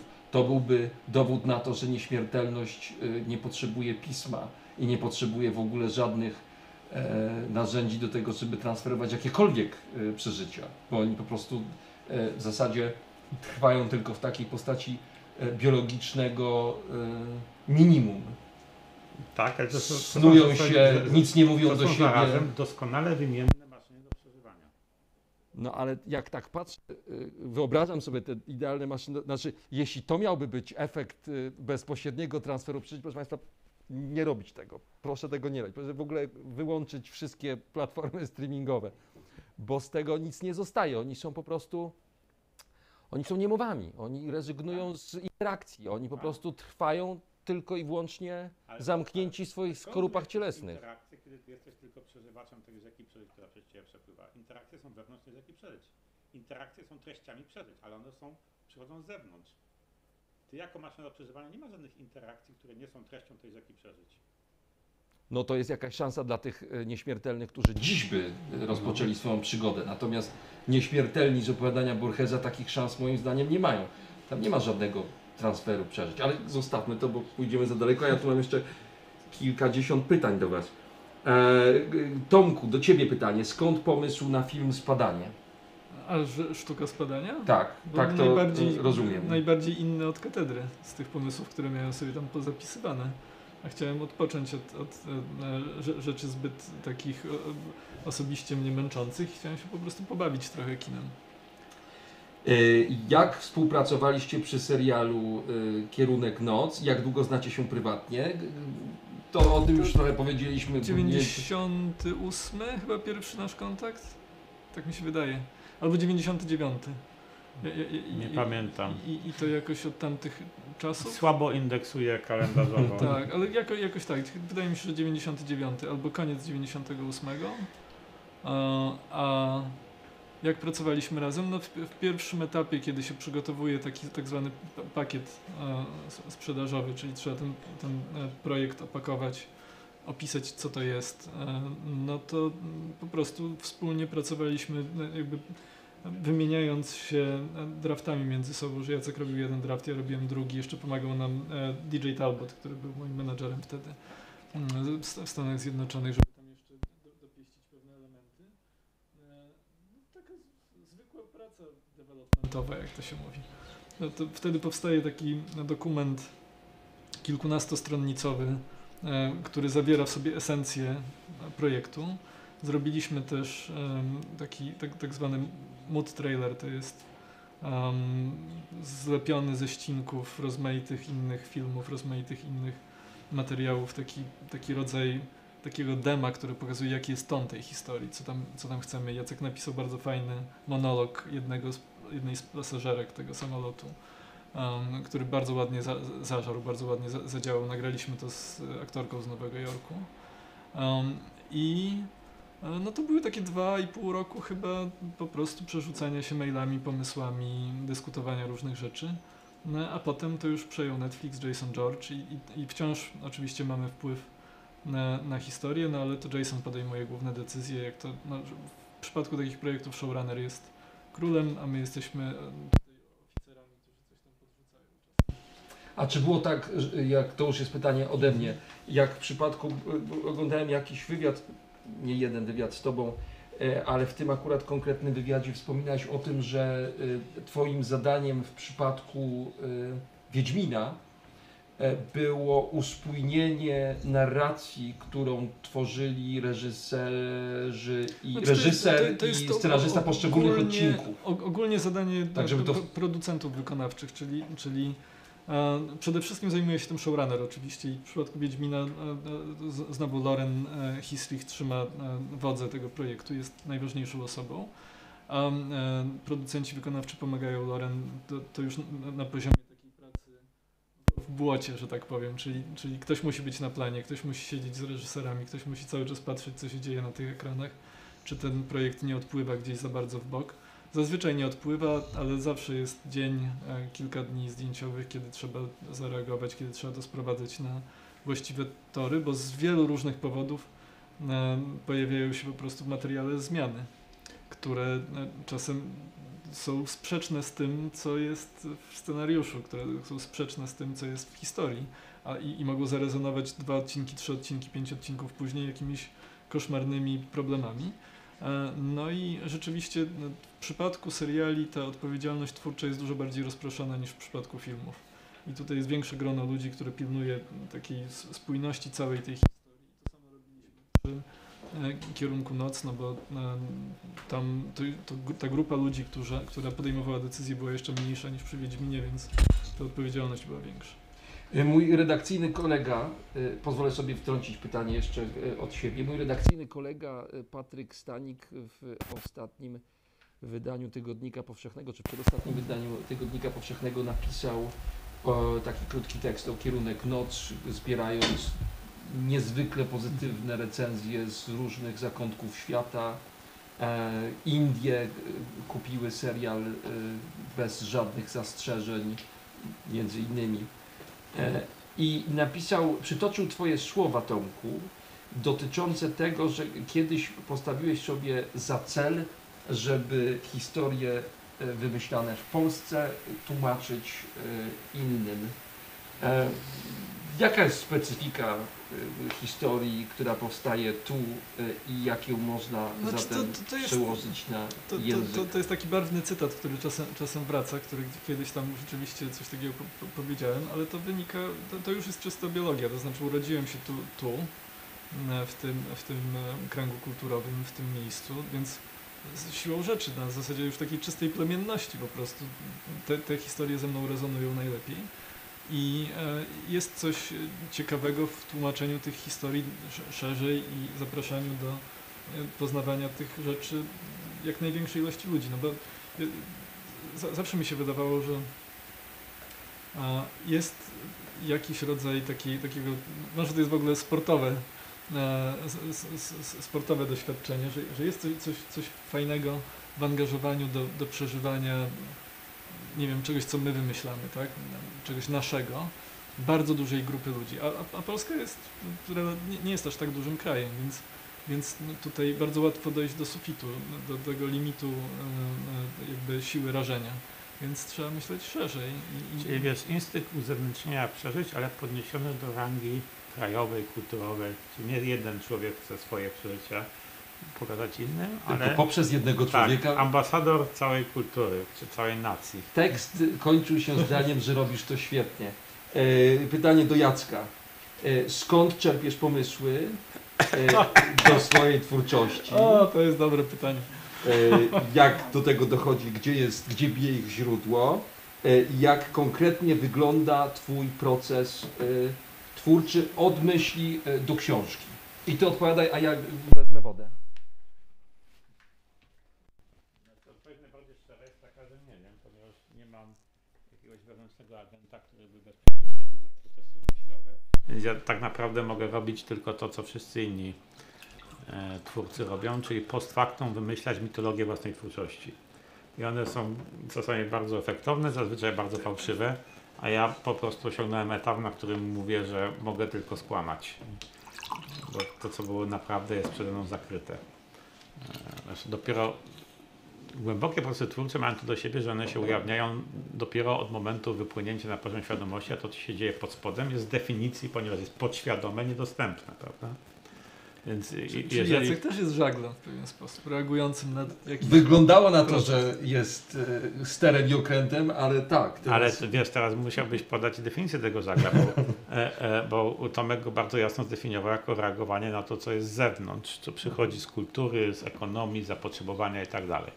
A ja tylko mówię, że zachodzą wewnątrz mnie samego takie procesy, których nie jestem świadom. Zresztą w książce po piśmie o tym To, mówisz. które pewnie są pochodnymi zew, z, zewnętrznej. Być tak? może, ale także tego nie jestem w stanie stwierdzić, skoro są podświadome. To prawda. E, W książce po piśmie piszesz o tym, że e, umysł, który posługuje się językiem, e, wychwytuje e, pewne wrażenia, e, pewne procesy e, w sposób dużo trudniejszy i powolniejszy niż umysł, który posługuje się do tego samego celu e, obrażania. To jest trochę inaczej. To jest ta teoria rozwinięta przez dyslektyków, że e, umysły wyzwolone z kajdan pisma, czyli nie, nie tak bardzo sformatowane przez myślenie językowe, e, myślą znacznie szybciej. Czyli sobie jeszcze myślisz, to jest coś takiego jak kwant myśli. To dla ludzi myślących pismem, myślących językiem, słowem, to są 3-5 myśli na sekundę. Że Niektórzy tam do 12 dochodzą i tak dalej.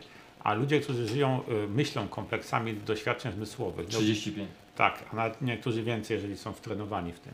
A e, druga rzecz jest, że oni są znacznie bardziej plastyczni, elastyczni, szybciej sami ewoluują, dostosowują się kreatywnie do nowych warunków, nowych zadań. E, Jednak sformatowanie przez słowo jest jakoś tam opancerza cię, utwardza. Ty myślisz bardziej rygorystycznie, myślisz analitycznie, myślisz w sposób sformalizowany, ale to właśnie sformalizowanie czyni cię bardziej kostycznym, zatwardziałym. Trudniej ci się szybciej zmienić, uelastycznić. I to są takie jakości, które e, możemy dostrzegać jako z na, na, z naszej perspektywy pozytywne w człowieku sformatowanym przez kulturę podpiśmienną. Natomiast to, do czego ty się odnosiłeś, to jest raczej to narzędzie analityczne, które sam sobie wytwarzasz, kiedy bardzo dobrze jesteś w, e, wtrenowany w myślenie pismem i prowadzisz na przykład coś takiego jak pamiętnik, dziennik, czyli prowadzisz narrację o własnym życiu, prawda? I narracja o własnym życiu jest bardzo linearna i bardzo językowa, czyli wprowadzona w kategorie. Czyli myślisz, aha, to, był, to była młodość, to mi się nie udało, taką ścieżkę kariery wybrałem, tutaj popadłem w depresję. Tak. To są wszystko kategoryzacje, które nakłada z zewnątrz na swoje ciągi przeżyć, które normalnie inaczej przepływałyby bez cie, przez ciebie nie e, skwantyfikowane, nie ujęte w żadne formuły. To po prostu strumień przeżyć. A teraz jesteś w stanie je nazwać. I wobec tego, skoro je już nazwałeś, to jesteś w stanie podnie, stanie podnieść do rzeczowników, do pewnych przedmiotów, które istnieją niezależnie od ciebie, prawda? I na nich wykonywać pewne operacje. I tu się zaczyna cała ścieżka myślenia o sobie i o przeżyciach wewnętrznych, która zaowocowała, zaowocowała między innymi psychoanalizą, ale także literaturą, e, także pewnymi teoria- teoriami antropologicznymi, także prawem.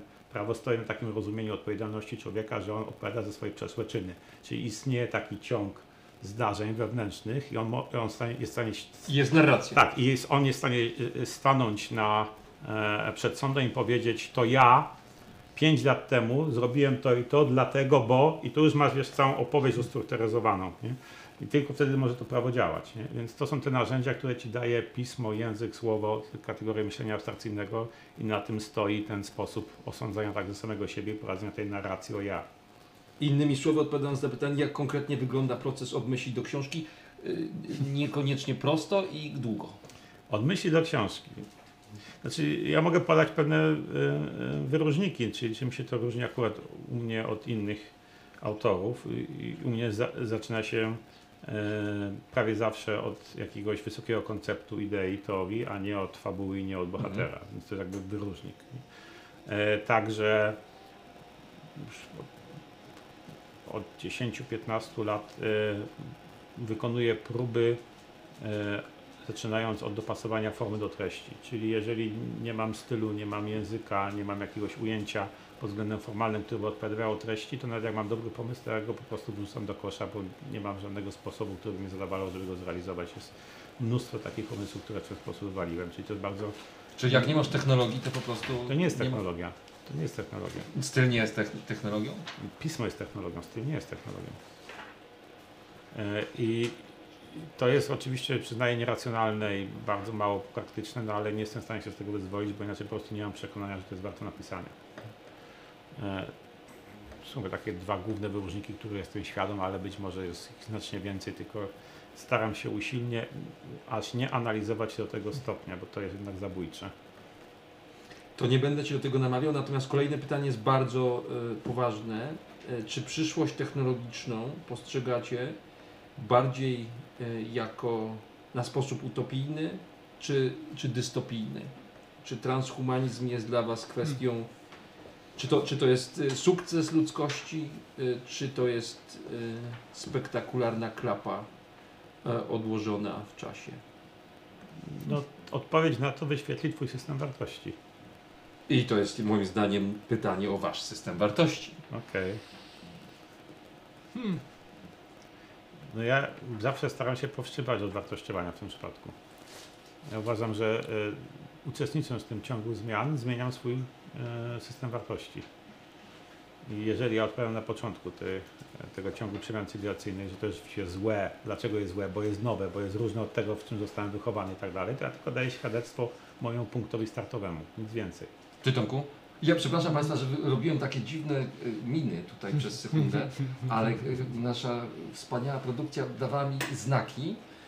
Y, Zapomniałem, że ja nic nie tak? widzę prawie w moich okularach, więc musiałem wykonać szybką pracę interpretacyjną. Y, Obrazy posłużyły lepiej niż słowa, co jest y, kamyczkiem do Twojego ogródka. Y, A, a, A ja, a ja to traktuję trochę jak pogodę, to znaczy przyjdzie, to zobaczymy. To, nie, nie ma nad tym kontroli, więc no, no, pod, podchodzenie do tego, czy to, czy to będzie dobre, złe, takie, śmakie, no to jest takie trochę gdybanie, które i tak pewnie nas to trochę zaskoczy w niektórych miejscach, więc czekam aż przyjdzie i wtedy się zobaczy. Yy, Pytanie do Ciebie jeszcze, Tomku. Mhm. To jest jakby część tego pytania o transhumanizm, yy, która bardzo ładnie ona jest sformułowane. Yy, Która książka Jacka Dukania najbardziej Cię poszarpała? O, najbardziej mnie poszarpała. To, jest, to chyba zależało od momentu akurat, bo, bo e, mam. Mi się to zmieniało po prostu. Mam wielki e, sentyment do perfekcyjnej niedoskonałości, bo ona jest nie, w pewien sposób perfekcyjnie niedoskonała. I, I jest, jest w tej książce e, bardzo dużo takiego młodzieńczego szaleństwa, które potem wyda, wy, wy, bo, bo są e, książki obiektyw, które nie wiem, czy jest sobie obiektywność w ogóle w obecnych czasach, ale, ale które, się, które są być może lepiej przemyślane literacko, ba- bardziej lepiej, łatwiej się czytają na przykład, bo niewątpliwie na przykład lu- lud pod kątem dojrzałości językowej jest nieporównywalny z perfekcyjną niedoskonałością, ale perfekcyjna niedoskonałość jest szalona w taki, w dobrym, w taki dobry sposób. I to mi się w tej książce niesłychanie podobało, jak, zwłaszcza jak niedawno ją sobie przeczytałem drugi raz, że to jest taka eksplozja pomysłów na, na, na, na wy, wyczerpanie po prostu kopalni rzeczy związanej, z, związanych nie wiem, z wymyślmy najbardziej szaloną, pokręconą space operę, jaką tylko sobie można wyobrazić, to jest właśnie to. I, i, i gdzieś tam e, e, pod tym względem chyba, chyba, jeżeli mam wybrać tylko jedną książkę, to pewnie będzie to właśnie ten tytuł. I jakie y, kolejne adaptacje yy, planujecie? Nie powiemy. Tych Mamy kilka pomysłów, kilka rzeczy jest w tak zwanym developmencie e, i nauczyłem się już, że bogowie filmu bardzo nie lubią gadania o projektach, zanim się te projekty nie... od- nie, nie, nie mogą wysłać nie- gromy i Tak, oni uniemożliwić. tego nie lubią, po prostu gdzieś tam w którymś momencie rzeczywistość zaczyna grać. Ale będzie to jedna z książek Jacka Dukaja.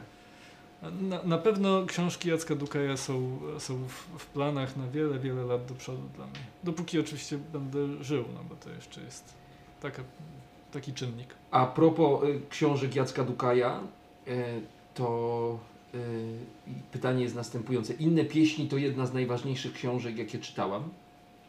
E, I, e, y, pani, która to pytanie wysłała, bardzo za tę y, książkę Ci Jacku dziękuję. I pyta tak, jaka jest ulubiona książka? Wydaje mi się, że to jest pytanie o Twoje książki. Nie w ogóle jaka jest. Może źle rozumiem, jeśli tak, to bardzo przepraszam, że Ulubiona przekręcam. książka, jaką sam napisałem, tak?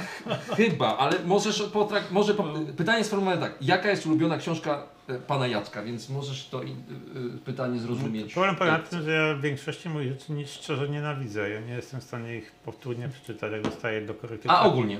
w wznowieniach, to dostaję choroby ciężkie przy tym. E, ogólnie jestem za bardzo rozrywany między różnymi książkami, żeby tak jednoznacznie powiedzieć. To mi się zmienia fazami. No to teraz.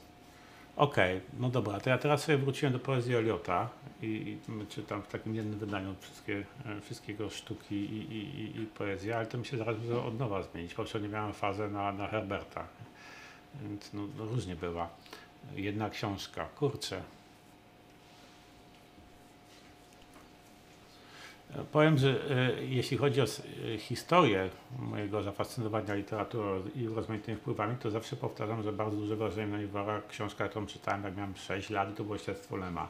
I ono, że tak powiem, zgwałciło mój umysł i od tej pory e, zostałem uwarunkowany do dalszych lektur przez właśnie tą książkę. To jest jedna możliwa odpowiedź. Druga odpowiedź nie na poziomie jakby intelektualnym, ale takiego wyrażenia pa- parareligijnego, to była lektura Władcy Pierścieni w tym pierwszym wydaniu y, polskim, takie grube tomiszcza w tłumaczeniu Mm. z Kibiniewskiej na, na żółtym papierze, gdzie miałeś złożoną e, e, frazę, e, prawie jakby to był biały wiersz, bo tam nie było justowania, tylko był taki dziwny formatunek dla mnie. Ja to czytałem jako rodzaj nieznanej mi wcześniej księgi religijnej. E, e, e, też Co, coś w tym jest. Wczesnej, tym jest. wczesnej młodości. Ja te, też pamiętam to wydanie, więc to, tak, co, coś w tym jest. Tak, Nie jest i- to, i, to są, coś i to są y, rzeczy, osobliwego. Prawda? I to są rzeczy formatujące, więc ja nie mogę powiedzieć, że jakby to jest dla mnie najważniejsze, najlepsze i tak dalej, ale ponieważ to jest bardzo płynne te przymiotniki, ale bardziej obiektywnie można stwierdzić, jakie książki cię w jakimś stopniu uforma- sformatowały, uwarunkowały, które Mhm. były u początku twojej drogi. No i bo już już ich nie zmienisz, prawda? Która z dotychczas y, napisanych przez Ciebie książek zajęła Ci najwięcej czasu? Obiektywnie lud. Ja rzeczywiście go pisałem z 2-3 lata plus research. Ile?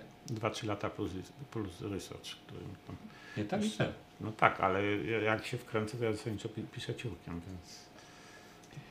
Yy, Tomek, y, czy są jeszcze szanse na powstanie filmu Hardcore 44? Sz- Szanse są zawsze, ale czeka na swój czas. Po prostu. Szanse są.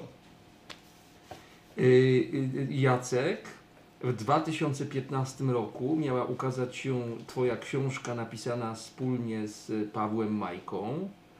Dlaczego do, nie doszło do jej No nie było takiej książki. Był jakiś ogólny plan od strony e, wydawnictwa Znak, żeby zrobić taką serię. Ja tego nie miałem pisać, tylko e, w pewnym momencie rozmawiałem tą z Majką o koncepcji, ale to nigdy nie zostało z, e, zrealizowane. Nie, nie zaistniała ta książka ani ten cykl. Więc to jest jakaś zapowiedź wypuszczona przedwcześnie przez wydawnictwo. Następne pytanie dotyczy transferu, ale takiego bardziej tradycyjnego.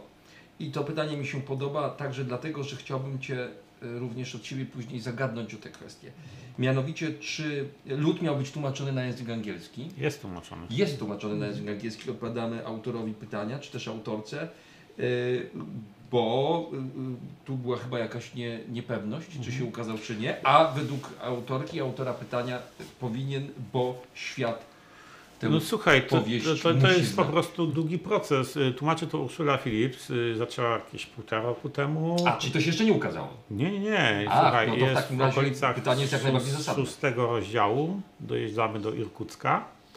E, No oczywiście proces jest iteracyjny, bo jak dochodzimy do kolejnych problemów, głównie z neologizmami, stylizacją, e, tytulaturą, z formami zwrotów e, między bohaterami i różnicami stanu e, e, w zapisie rosyjskim, to wtedy trzeba e, wracać do poprzednich rozdziałów i zmieniać je pod kątem nowych rozwiązań. Więc coś tak przepisuje, przepisuje, przepisuje, ale tych przepisań jest coraz mniej i do przodu idziemy coraz szybciej. Mam nadzieję, że za jakieś 3 lata e, się ta książka ukaże po angielsku.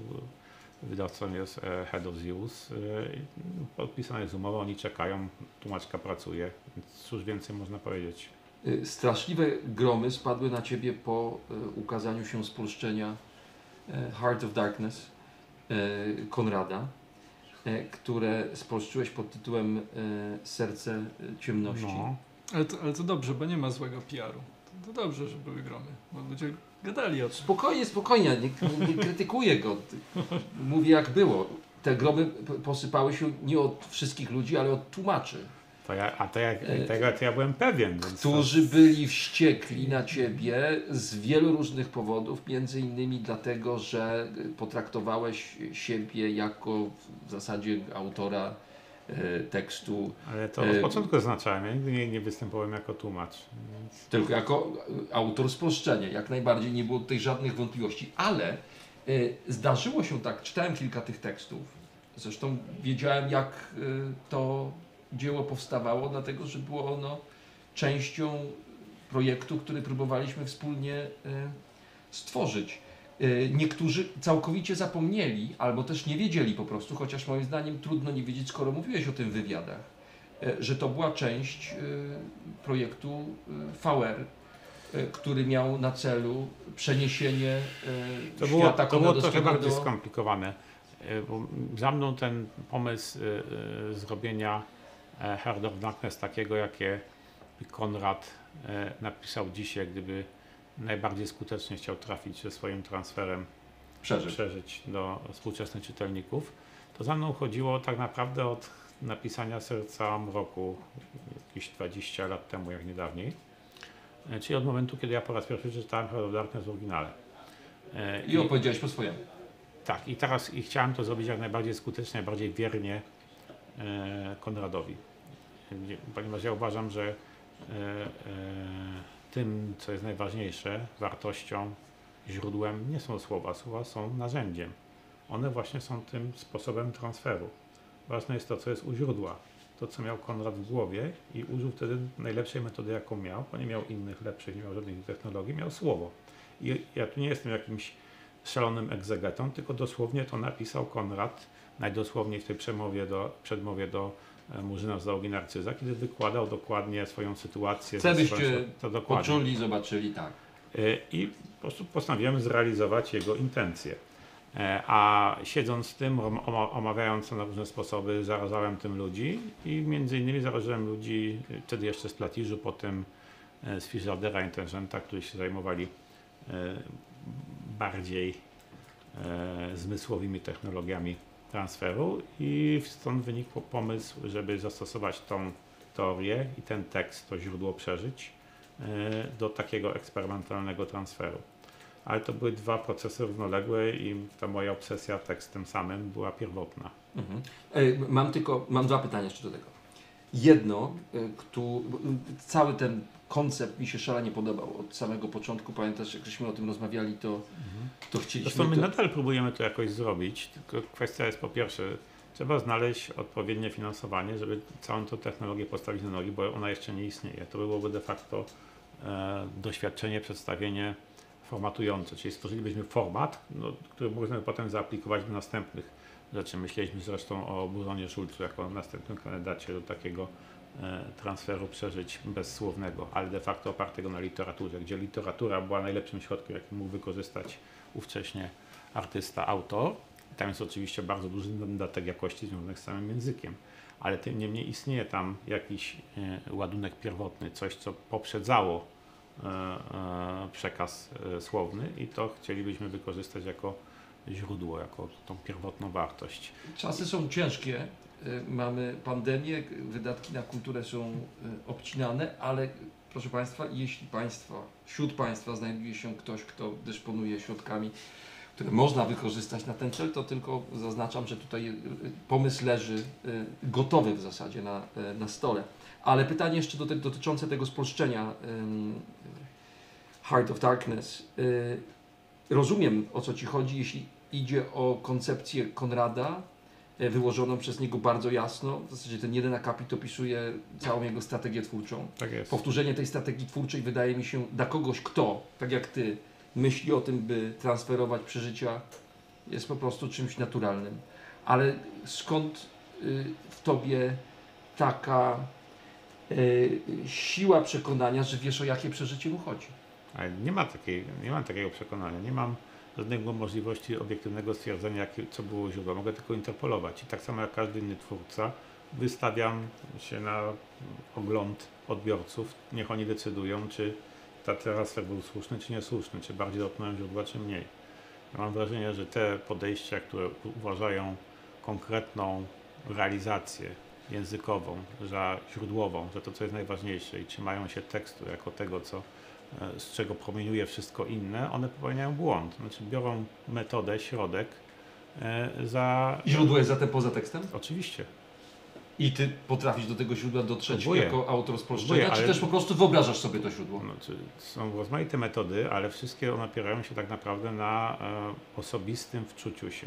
To jest w zasadzie podstawa fenomenologii, a także podstawa większości dociekań metafizycznych, religijnych, że ty masz pewien wgląd w rzeczywistość, która jest niedostępna innym i próbujesz tą rzeczywistość pozazmysłową upakować w rozmaite formy przekazu zmysłowego, także słownego i trafiasz z tym do ludzi albo nie trafiasz. Przepraszam, że macham palcem, już go chowam, ale w takim razie podmiot y, w przypadku transferu przeżyć y, jest nam bardzo potrzebny.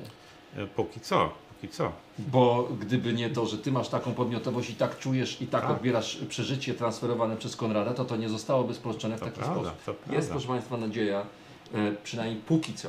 Ale E, dlaczego? Dlaczego? Ponieważ Ja- my nie mamy dostępu do źródła tych przeżyć, czyli tego, co było w głowie Konrada, ponieważ Konrad już nie żyje. Ale gdybyś wziął współczesnego twórcę, czy też twórcę za 50 lat, w Rozumiem. analogicznej sytuacji, to już byś mógł wstawić do środka Neuralink e, e, mo- maska i byś nie miał tego problemu. Czy to znaczy ta, zatem, że bezpośredni transfer przeżyć y, zlikwiduje problem polegający na tym, że medium, z, jakimi, z, jakim się, z jakim przystępujemy do pracy przekazania, ekspresji, wyrażenia, y, Mhm. reprezentacji zniknie? Jeżeli za źródło uważasz coś, co jest e, źródłowo niejęzykowe, nie oparte na słowach, to tak. Okej. Ale jeżeli uważasz, że e, wartością jest właśnie sam przekaz słowny, na przykład zabawy formalne w poezji, nie? brzmienie słów, układ słów na karcie papieru, no to będziesz ciągle przywiązany do tego medium. Y, Kolejne, y, kolejne pytanie. Y, Czy doskonały bezpośredni transfer nie wyeliminuje w takim razie potrzeby, y, czy doskonały bezpośredni transfer przeżyć nie wyeliminuje w takim razie potrzeby posiadania cielesności, zmysłów dla e, umysłu? Docelowo tak. I co wtedy? Tego nie wiem. Tego, tego nie wie nikt. E, To, to, to, to, to jak, jak to się nazywa, że, że to będzie ten, ta granica, za którą już nie jesteśmy w stanie spojrzeć. Futurolodzy się też o to rozbijają. Tak. Czy, bo to jest pytanie jest tak naprawdę jednym z paradoksów filozoficznych. Czy potrzebujesz posiadać ciało, żeby przeżywać doświadczenie posiadania ciała? No z tego co mówiłeś wcześniej e, o tym e, mechu, który bierze do ręki e, szklaneczkę z alkoholem po to, żeby e, powtórzyć rytuał, e, No. za, zasymulować e, te e, picie, No. e, spożywanie alkoholu, e, no to z tego punktu widzenia nie. Dlatego, że mogę, e, jeśli mogę, Mhm. w obrębie tej wizji em, odtwarzać, wykreować wrażenie towarzyszące. Nie trzeba tak daleko iść. Znane są takie fenomeny jak na przykład ból fantomowy. Masz poczucie, że boli cię ręka, której nie masz. Są także eksperymenty przeprowadzone bezpośrednio na korze mózgowej, kiedy wiesz, trepanują ci czaszkę, przykładano elektrody i ty nagle, nagle masz wrażenie przeżywania rozmaitych doświadczeń cieleśnie, chociaż ich nie przeżywasz. Jesteś tego boleśnie świadom, że to nie są doświadczenia twojego ciała, ale ty nie jesteś w stanie zaprzeczyć samemu przeżyciu, bo je w tobie wyindukowano bezpośrednio na mózgu. Stąd wniosek, że nie potrzebujesz mieć ciała, żeby doświadczać przeżywań cielesnych. Możesz do- doświadczać, wiesz, biegania, picia, bycia pobitym, dotkliwie i tak dalej, nie mając tego ciała. Czy to będzie e, czas, etap rozwoju ludzkości, na którym zniknie ciało i transcend- znikną ciało i Nie transcendencja? mówię, że. Moje Pytanie było, czy to jest konieczne. To mówię, że to nie jest konieczne. A co zniknie lub nie, to jest zależy od wartościowań kulturowych. No, poza tym nie, nie jest przecież wy, wykluczone, że w ogóle żyjemy w symulacji już teraz. O, to jest właśnie e, Tak. pytanie kolejne. E, Jak byś Tomku wyczuł, czy wierzą panowie w to, że żyjemy w komputerowej symulacji? Nie wiem, czy to wiara ma cokolwiek do powiedzenia. Ja o- odpowiem znanym cytatem. Ta hipoteza nie jest dla mnie konieczna. E, Okej. Tu się pojawiają e, e, kłopotliwe pytania, e, Jacku. E, W 2013 roku powiedział Pan, że rekursja ma około 900 stron. E, Jak wygląda sytuacja obecnie? Znacznie gorzej, bo jakbym policzył wszystkie jej wersje, to ma spokojnie powyżej 4000, e, ale nadal e, znajduje się tam, gdzie e, poprzednio, czyli w koszu. E, Ostatnio podjąłem próbę napisania tej wersji w zupełnie innej formule, ale nie chcę nic o tym mówić w takiej samej zasadzie, jak Tomek nie mówi o projektach, które jeszcze nie zostały zrealizowane w filmie. Jest jeszcze pytanie. Ja Ci chyba kiedyś przesyłałem to pytanie SMS-em też. Y, Co z kolejnymi częściami trylogii Progresu? W tej chwili nie mam żadnych planów ich pisania. Rozumiem. Y, Nawiązując, y, bardzo Państwu dziękuję za te pytania. Nie, zaraz jeszcze sprawdzę, czy nie ma e, kolejnych. możesz zadawać wszystkie najbardziej przykre Są kolejne pytania. pytania, udając, że nie Ja pochodzą chcia- od Ciebie. Ja już chciałem. Nie, to nie było moje pytanie. To nie było moje pytanie, absolutnie nie, ale widzę, że. ym, yy, ale widzę, że ich jest więcej, więc Państwa przepraszam, już chciałem kończyć. Yy, wracam. Nie w ma tak- tak dobrze. Wracam tak. Nie, nie, nie, nie, że chciałem kończyć, bo już mam e, dość tej sytuacji. E, Bardzo mi jest e, miło, mam nadzieję, że Państwu również. E, Już, już e, czytam te pytania. Pytanie do Pana Tomasza. E, Jakie inne historie Pana Jacka chciałby Pan zekranizować? To już się pojawiało wcześniej, ale skoro powraca, to znaczy, Wszystkie. to znaczy, że... Ale one są w większości nieekranizowalne. Znaczy ma, mam, mam og- ogro, ogromny sentyment do Czarnych Oceanów, bo jak mówiliśmy o, o, ksi- o, książkach, o książkach formujących młodość, no to w, moim- w moim wypadku to było z jednej strony Archipelag Gułak, a z drugiej strony to były Czarne Oceany. E, przy wszystkich wadach tej książki, no to wciąż mam do niej ogromny sentyment. Jest akurat jedną z łatwiejszych książek do zekranizowania, moim zdaniem. Znaczy łatwiejszych, Jak A- szukałeś punktów spornych, to to jest jeden z głównych punktów Bo spornych. Ty się z tym nie zgadzasz. Bo ja ja książki nienawidzę z serdeczną nienawiścią, e, a Tomek w niej znajduje jakiś potworny rezerwuar pomysłów do sfilmowania, więc... Hmm. jest to wciąż rezerwuar pomysłów do, do sfilmowania, więc wi- Ja, ja uważam, że się mylisz. Wi- Widzę, widzę w tym, w tym gru, gruby potencjał. Bardzo lubię niektóre opowiadania Jacka. E, Bardzo lubię w ogóle Serce Mroku też, które dla mnie było pierwszym spotkaniem z Och, to byłoby Konradem. coś. Bo, bo dla mnie, ja najpierw przeczytałem Serce Mroku Jacka, to, to, to opowiadanie fantastyczne. Potem dopiero przeczytałem Konrada, który mi się wydał o wiele mniej ciekawy. Bo przeczytałeś go w tym W tłumaczeniu tym, Zagórskim. W tym, w tym sła- słabym tłumaczeniu, znaczy nie słabym, no tym tradycyjnym tłumaczeniu. I właściwie Konrad na nowo mi się za, zaczął podobać dopiero jak przeczytałem to spolszczenie, które akurat mi, mi pasuje, bo jest, wydaje mi się, odpowiada, mm, odpowiada du, duchowi tej, tej, No, tej są jeszcze inne tłumaczenia. Jest tłumaczenie Jędrzeja Polaka, jest tłumaczenie Polaka Magdy i Margaret Heider. Hale są najlepsze Absolutnie, tak. absolutnie tak. To są, to są świetne rzeczy. Ja ale, w ogóle... ale to, to, to, to już tam abstrahując, no, Ale zrobiłbyś serce w roku? Byłoby fajnie. No, no na pewno kiedyś, tak jak już będę e, miał możliwości, bo oczywiście może nigdy nie będę miał tych możliwości, ale kiedyś bym chciał też wrócić do katedry, ale już tak na, w, dłuższym metrażu, w dłuższej historii, bo to jest piekielnie trudna też rzecz do, do, do, do, do, przetłumaczenia na ekran. E, ale, ale wiele jest tych, tych rzeczy. Są, są fantastyczne rzeczy w lodzie, fantastyczne sceny, no, no, no, inne pieśni, no to jest go- gotow, gotowiec serialowy, E, właśnie- piekielnie drogi. też. Yy, Ale tu mam właśnie wątpliwość, czy, Czy inne mogę wam- pieśni są do sfilmowania? Przepraszam panów Oczywiście, bardzo. My tak. Mamy publiczność i ta publiczność cały czas żywiołowo na nasze słowa, znaczy na wasze słowa. Ja tu jestem tylko. Powinien być e, jakiś soundtrack, taki cieniem. background stadionu, który ryczy albo klaszcze. Yy, Tak, albo buczy. Widzisz, Tak, bo- u, bo nudy. Potrzeb, potrzebuje, No. potrzebuje responsu ze strony y, publiczności. Ta Bardzo publiczność reaguje wspaniale, bardzo Państwu za to dziękujemy. E, I właśnie jedno z pytań, którego jeszcze nie zdążyłem odczytać, e, jest, e, zawiera sugestię, że inne pieśni to byłby tekst, z którym świetnie byłoby popracować, przenosząc go na, Tak, no, cho- cho- e, chociaż na oczy- oczywiście jest w to, postaci filmu albo serialu zrealizować. i- jest to dość ko- koszt, kosztowna rzecz i, to- i trudna też. No, trzeba by wymyślić język wizualny do, do, do tej. Do, Jak do tej pokazujesz na ekranie morfę i wpływ morfy? E, Jeszcze nie wiem, No. ale, jest, jest, ale, ale też na, na poziomie już takiej czystej fabuły, czystych postaci, e, charakterów, no to tam jest bardzo dużo takiego dobrego mię- mięsa emocjonalnego i seri serialowego, więc E, czemu nie? Słuchajcie, Wam może tego wszystkiego nie potrzeba do życia, ale innym ludziom tak. Pytanie jest następujące. Jak przemiana i wyjście z kultury pisma wpływa na sposób odbioru innych sztuk, jak wpłynie na sposób odbioru innych sztuk, co się z tymi y, innymi sztukami w związku z tym stanie, na przykład muzyki czy tańca? Akurat i muzyka i taniec są e, pozasłowne. Więc one źródłowe jakby już są przystosowane do tego Tak, to, to, doświadczenia. to Więc jest tutaj to, to od samego początku jest doświadczenie czysto emocjonalne. Ale czy to będzie tak jak y, y, taki był wywiad z Milesem Davisem, w którym y, dziennikarz pyta go, czy wykonywałby pracowałby muzycznie, grałby, gdyby nie miał żadnego odbiorcy? Na co on odpowiada? Oczywiście, że tak, dlatego że muzyka jest w mojej głowie. Słyszę ją nawet w tym momencie. Czy chodziłoby o to, że my wtedy unieruchomieni e, otrzymujemy Dlaczego trans... unieruchomieni? Znaczy, to, to, No bo- nie do końca rozumiem też e, korelację między tymi dwoma. Bo wyobraziłem sobie to w ten sposób, że po prostu siedzę i tańczę w głowie. No, ale można to zrobić nawet dzisiaj. Tak, tylko tu jest ten problem, e, problem e, tego, co się nazywa embodiment, czyli czy ty będziesz odczuwał tą radość taneczną, nie wykonując jej właśnie własnym ciałem.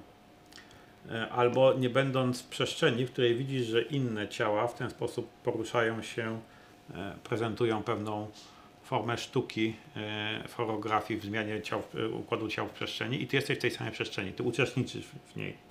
Dlatego jest taka duża różnica pomiędzy oglądaniem tańca na żywo i oglądaniem tańca na ekranie.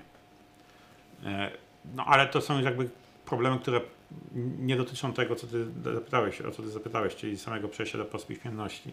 Tu raczej możesz zaobserwować, w jaki sposób ta przemiana wpływa na przykład na konstruowanie fabuł w filmach. To już mówił tutaj Mhm, Tomek o tak. wyjściu z przyczyno, przyczynowości, z łańcuchów przyczynowo-skutkowych. E, w jaki sposób wpływa na, na reklamę, na język reklamy, na język marketingu, na e, w ogóle e, sposób prezentowania tego, co jest dla nas atrakcyjne, co powinno być atrakcyjne. Czyli takie poleganie na asocjacjach. Nie apelowanie do rozumu, logiki, do tego, że to będzie dla Ciebie korzystniejsze, więcej zarobić i tak dalej, tylko na epatowaniu pakietami przeżyć i elementem tego pakietu przeżyć jest ten produkt. Czyli ty przeżywasz, wiesz, Jamesa Bonda, a James Bond nosi ten zegarek. Nie, nie masz tu żadnego ciągu logicznego, nie ma żadnego argumentu.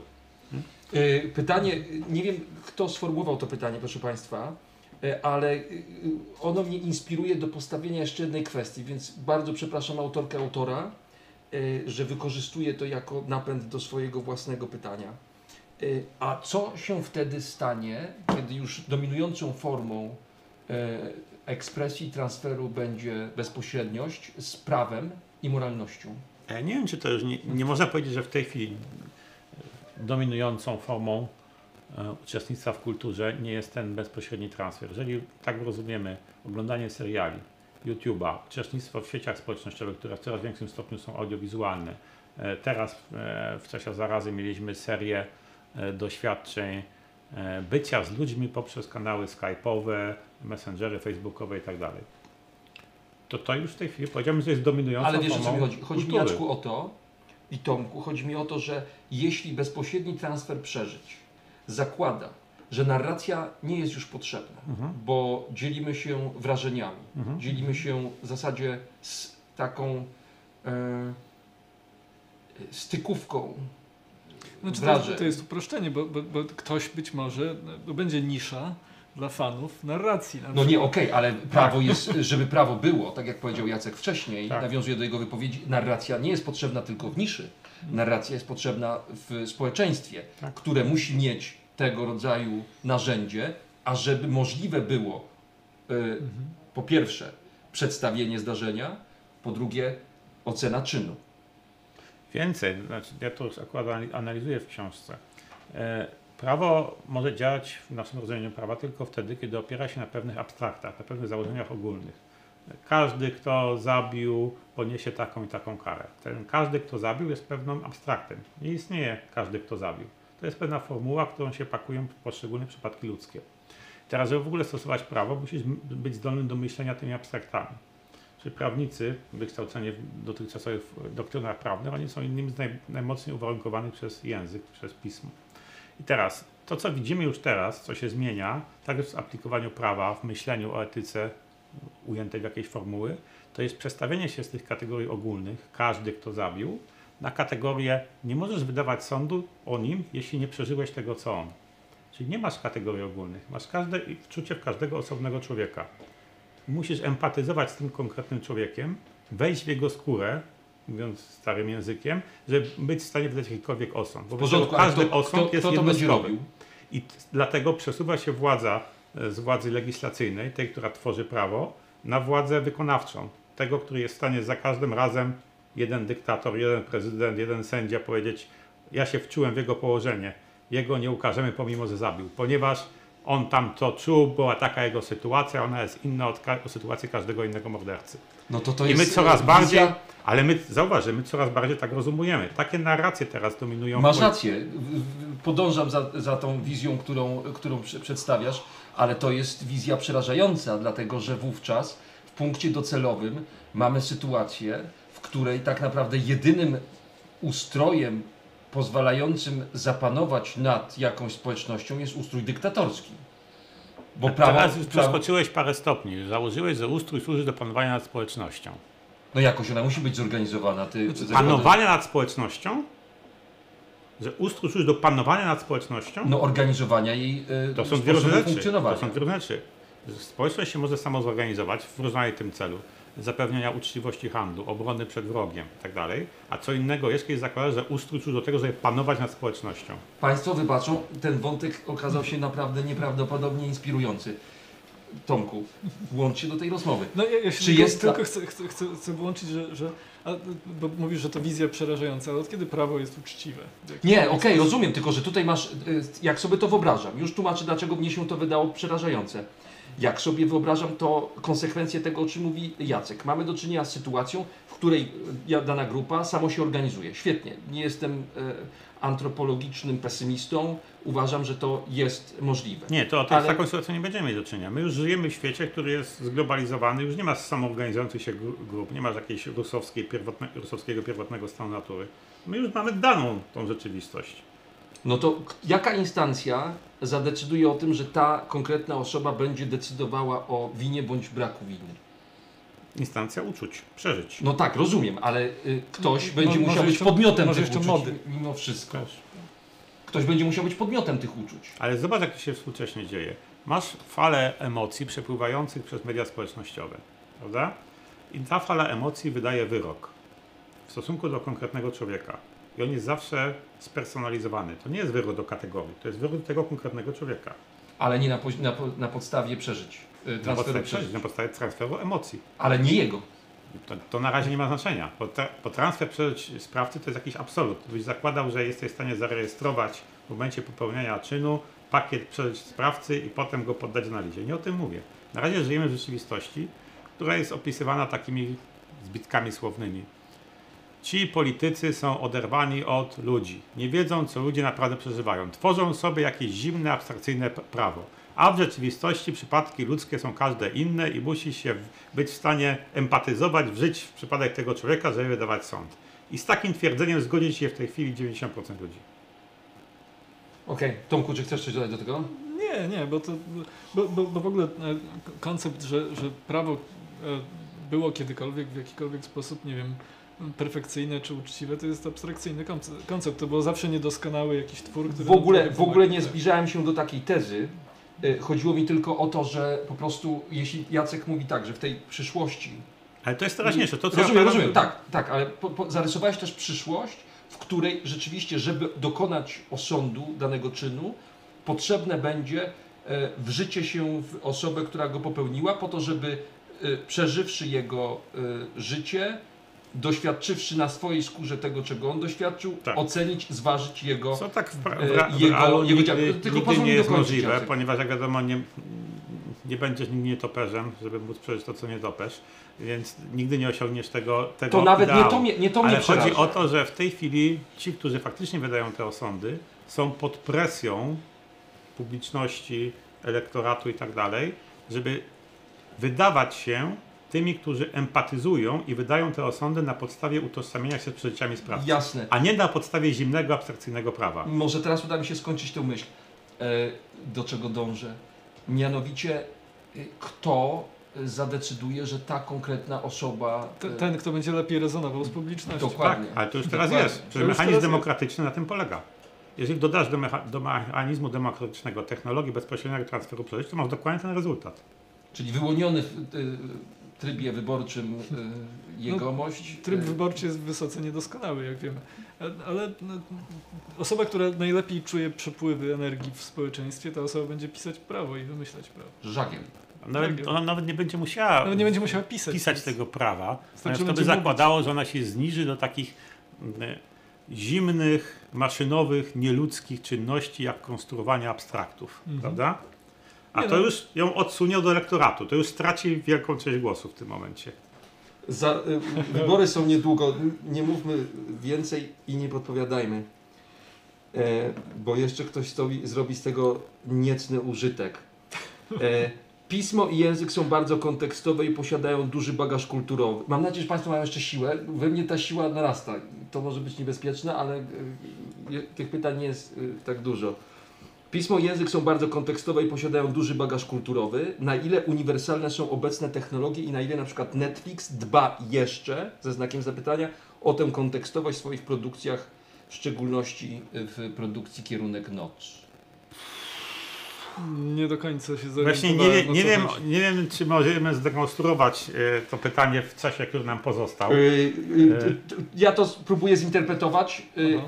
Jeśli jest tak, że w piśmie i w języku przechowane są również konteksty kulturowe, jest jakiś potężny bagaż kulturowy, który wraz z No. używaniem tych narzędzi zostaje przekazany w tekście, to czy na przykład konkretnych y, sytuacji kulturowych, konkretnego bagażu kulturowego wynikającego, tak jak y, pamiętasz Twoje słowa, które przywoływałem, że historie powstające tu mają pewną specyfikę, którą Ty tłumaczysz na y, y, inne, No wiesz, Mm. Netflix na pewno dla innych kultur. Netflix, Czy, wy, czy o, tym, o tą specyfikę y, Netflix dba, czy też tworzy takie y, seriale, takie opowieści, Znaczy, które wszędzie mi się, mi się, to, się spodobają? Znaczy nie wiem, czy tam jest pytanie, to, to raz. A jeżeli jest, wydaje mi się retoryczne, bo, bo, bo nie istnieje nic, co, nie ist, co, co powstaje bez, bez jakiegoś e, źródła i, i, i tła, czy to będzie pisanie, czy to będzie serial, czy to będzie, nie wiem, e, jakieś, jakieś przeżycie, zawsze będzie wy, wynikać i wychodzić z jakiegoś innego przeżycia, będzie echem, odbiciem, interpretacją czegoś, co już wcześniej e, przeżyliśmy, no bo tak zostaliśmy przecież wy, wy, wy, wy, wytrenowani. Więc e, trochę wydaje mi się, że, że, że, że tam nie ma pytania, mówiąc krótko. ale wiesz, można powiedzieć, że Netflix ma pewne narzędzia, które pozwalają mu w większym stopniu ten wpływ wywierać, na przykład kontrolę nad tłumaczeniami, czyli nie zdaje na poszczególnych Mhm.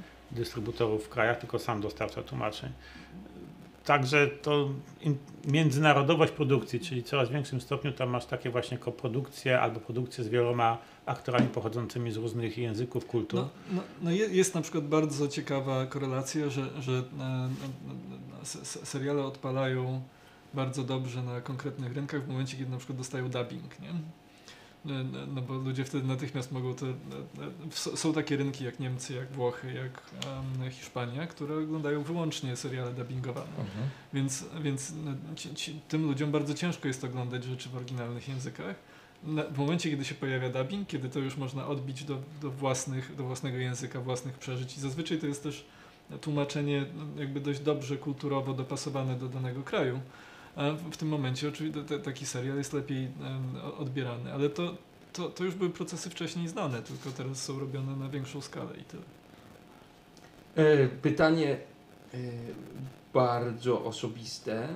Jaki wpływ na e, Twoje życie, Jacku, ma pisanie takiej książki jak Lud? Olga Tokarczuk pisząc księgi Jakubowe odchodziła od zmysłów, zbliżając się do szaleństwa. Czy to e, jest, ten proces twórczy jest tak e, e, w Twoim przypadku obciążający, Nie, dotkliwy? nie, ale ja bym powiedział, że większość tych książek, nad którymi jakiś dłuższy czas pracuję, które są jakoś dla mnie ważne, no to nie jest tak, że ja sobie je wykoncypowałem na zimno i wymyśliłem, że teraz to napiszę, tylko że one wynikają z jakichś moich długofalowych obsesji, czyli może nie sama książka i jej pisanie na mnie wpływa, ale i książka i ten zmiana zachodząca we mnie są skutkiem tego samego procesu, czyli czym się zainteresowałem, coś na mnie wpłynęło, wpadłem w jakąś obsesję, w coś się wkręciłem i tu mamy takie rezultaty siostrzane. Książka i zmiana we mnie.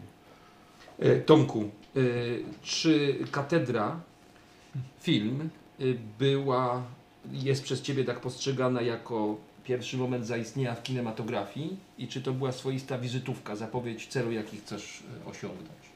Jaki sobie wtedy zamierzyłeś? Chyba, chyba o tym no, mówiłem wielokrotnie tak. Znaczy, zawsze, oczywiście robiłem jakieś formy wcześniej, jakieś fi, formy filmowe wcześniej, wcześniej robiłem, ale to był taki pierwszy, pierwszy projekt, który traktowałem e, jak- jako pierwsza taka poważna, większa rzecz, którą wtedy sobie zaprojektowałem jako coś, co zastąpi mi dyplom na studiach, bo już wiedziałem, że studiów raczej nie będę kończyć, więc pomyślałem sobie, że mi się przyda taki taki glade, że coś umiem e, i, e, i, i to ma jakość i gdzieś to zostanie na dłużej. A, a udało się jeszcze, jeszcze lepiej i to się rozrosło potem jeszcze bardziej i mam nadzieję, że historia katedry nie jest skończona, ale też o tym za dużo nie chcę mówić. Ja też mam taką nadzieję, że historia katedry nie jest skończona i wielu innych Waszych e, projektów. Życzę Wam, żeby te projekty się ziściły. Proszę Państwa, historia tego dzisiejszego spotkania zbliża się wielkimi krokami e, do końca. Ono e, zostało zatytułowane Czego obraz chce od słowa, czy też czego obrazy chcą od słów. Wydaje mi się, że po tej rozmowie powinni, powinniśmy ten tytuł zmodyfikować. Czego obrazy chcą od słów, czego słowa chcą od obrazów, czego chcą obrazy, czego chcą słowa i wiele jeszcze innych możliwości by pozostało. Bardzo Państwu dziękuję za y, kapitalne zaangażowanie i współprowadzenie tego y, spotkania. Mam jeszcze, proszę Państwa, do zakomunikowania jedną y, rzecz, zanim po, po, podziękuję Jackowi i Tomkowi. Mianowicie Booktarg, y, to znaczy Legimi, to znaczy Lubimy Czytać oraz Allegro wspierają Unię Literacką w ten sposób, że na Allegro będą się odbywały licytacje, z których całościowy dochód zostanie przekazany Unii Literackiej i posłuży jako wsparcie dla e, pisarek oraz e, pisarzy. Między innymi w tego rodzaju aukcji wezmą udział dwa egzemplarze starości Axolotla, które proszę Państwa własnoręcznie dla Państwa szczęśliwych nabywców e, podpisze Jacek Dugaj, o co Cię e, proszę, a żebyś to tak. zrobił w taki bardzo teatralny sposób, Tak żeby jest. nadać e, temu te, tej sygnaturze potrzebuję tego rangę pióra. i ro- zrobi to oczywiście również e, autor e, okładki e, Tomasz Akurat tej, Tej nie? Tej nie jestem autorem, Wycofuję się ale, z tego, proszę ale autor, Tego się nie da już wyciąć, ale jeden, jeden z autorów adaptacji. Tak. To na pewno. To może ty będziesz Dobra. dopisywać pierwszy, a ja się będę dopisywać małymi literkami w rogu strony. bardzo Wam dziękuję e, za tę e, rozmowę. E, Ona miała e, wiele wątków. E, Mam nadzieję, że dla Państwa te wszystkie wątki e, nie były nazbyt e, e, chaotyczne, ale taką formułę przyjęliśmy, że rozmawiamy na żywo, myślimy na żywo, myślimy z Państwem, ponieważ otwieramy się na Wasze e, pytania. Bardzo dziękuję Tomku, Jacku, e, kierunek Dziękuję. e, teraz już noc, dziewiąta. Tak jest. Dziękuję bardzo. Dziękujemy.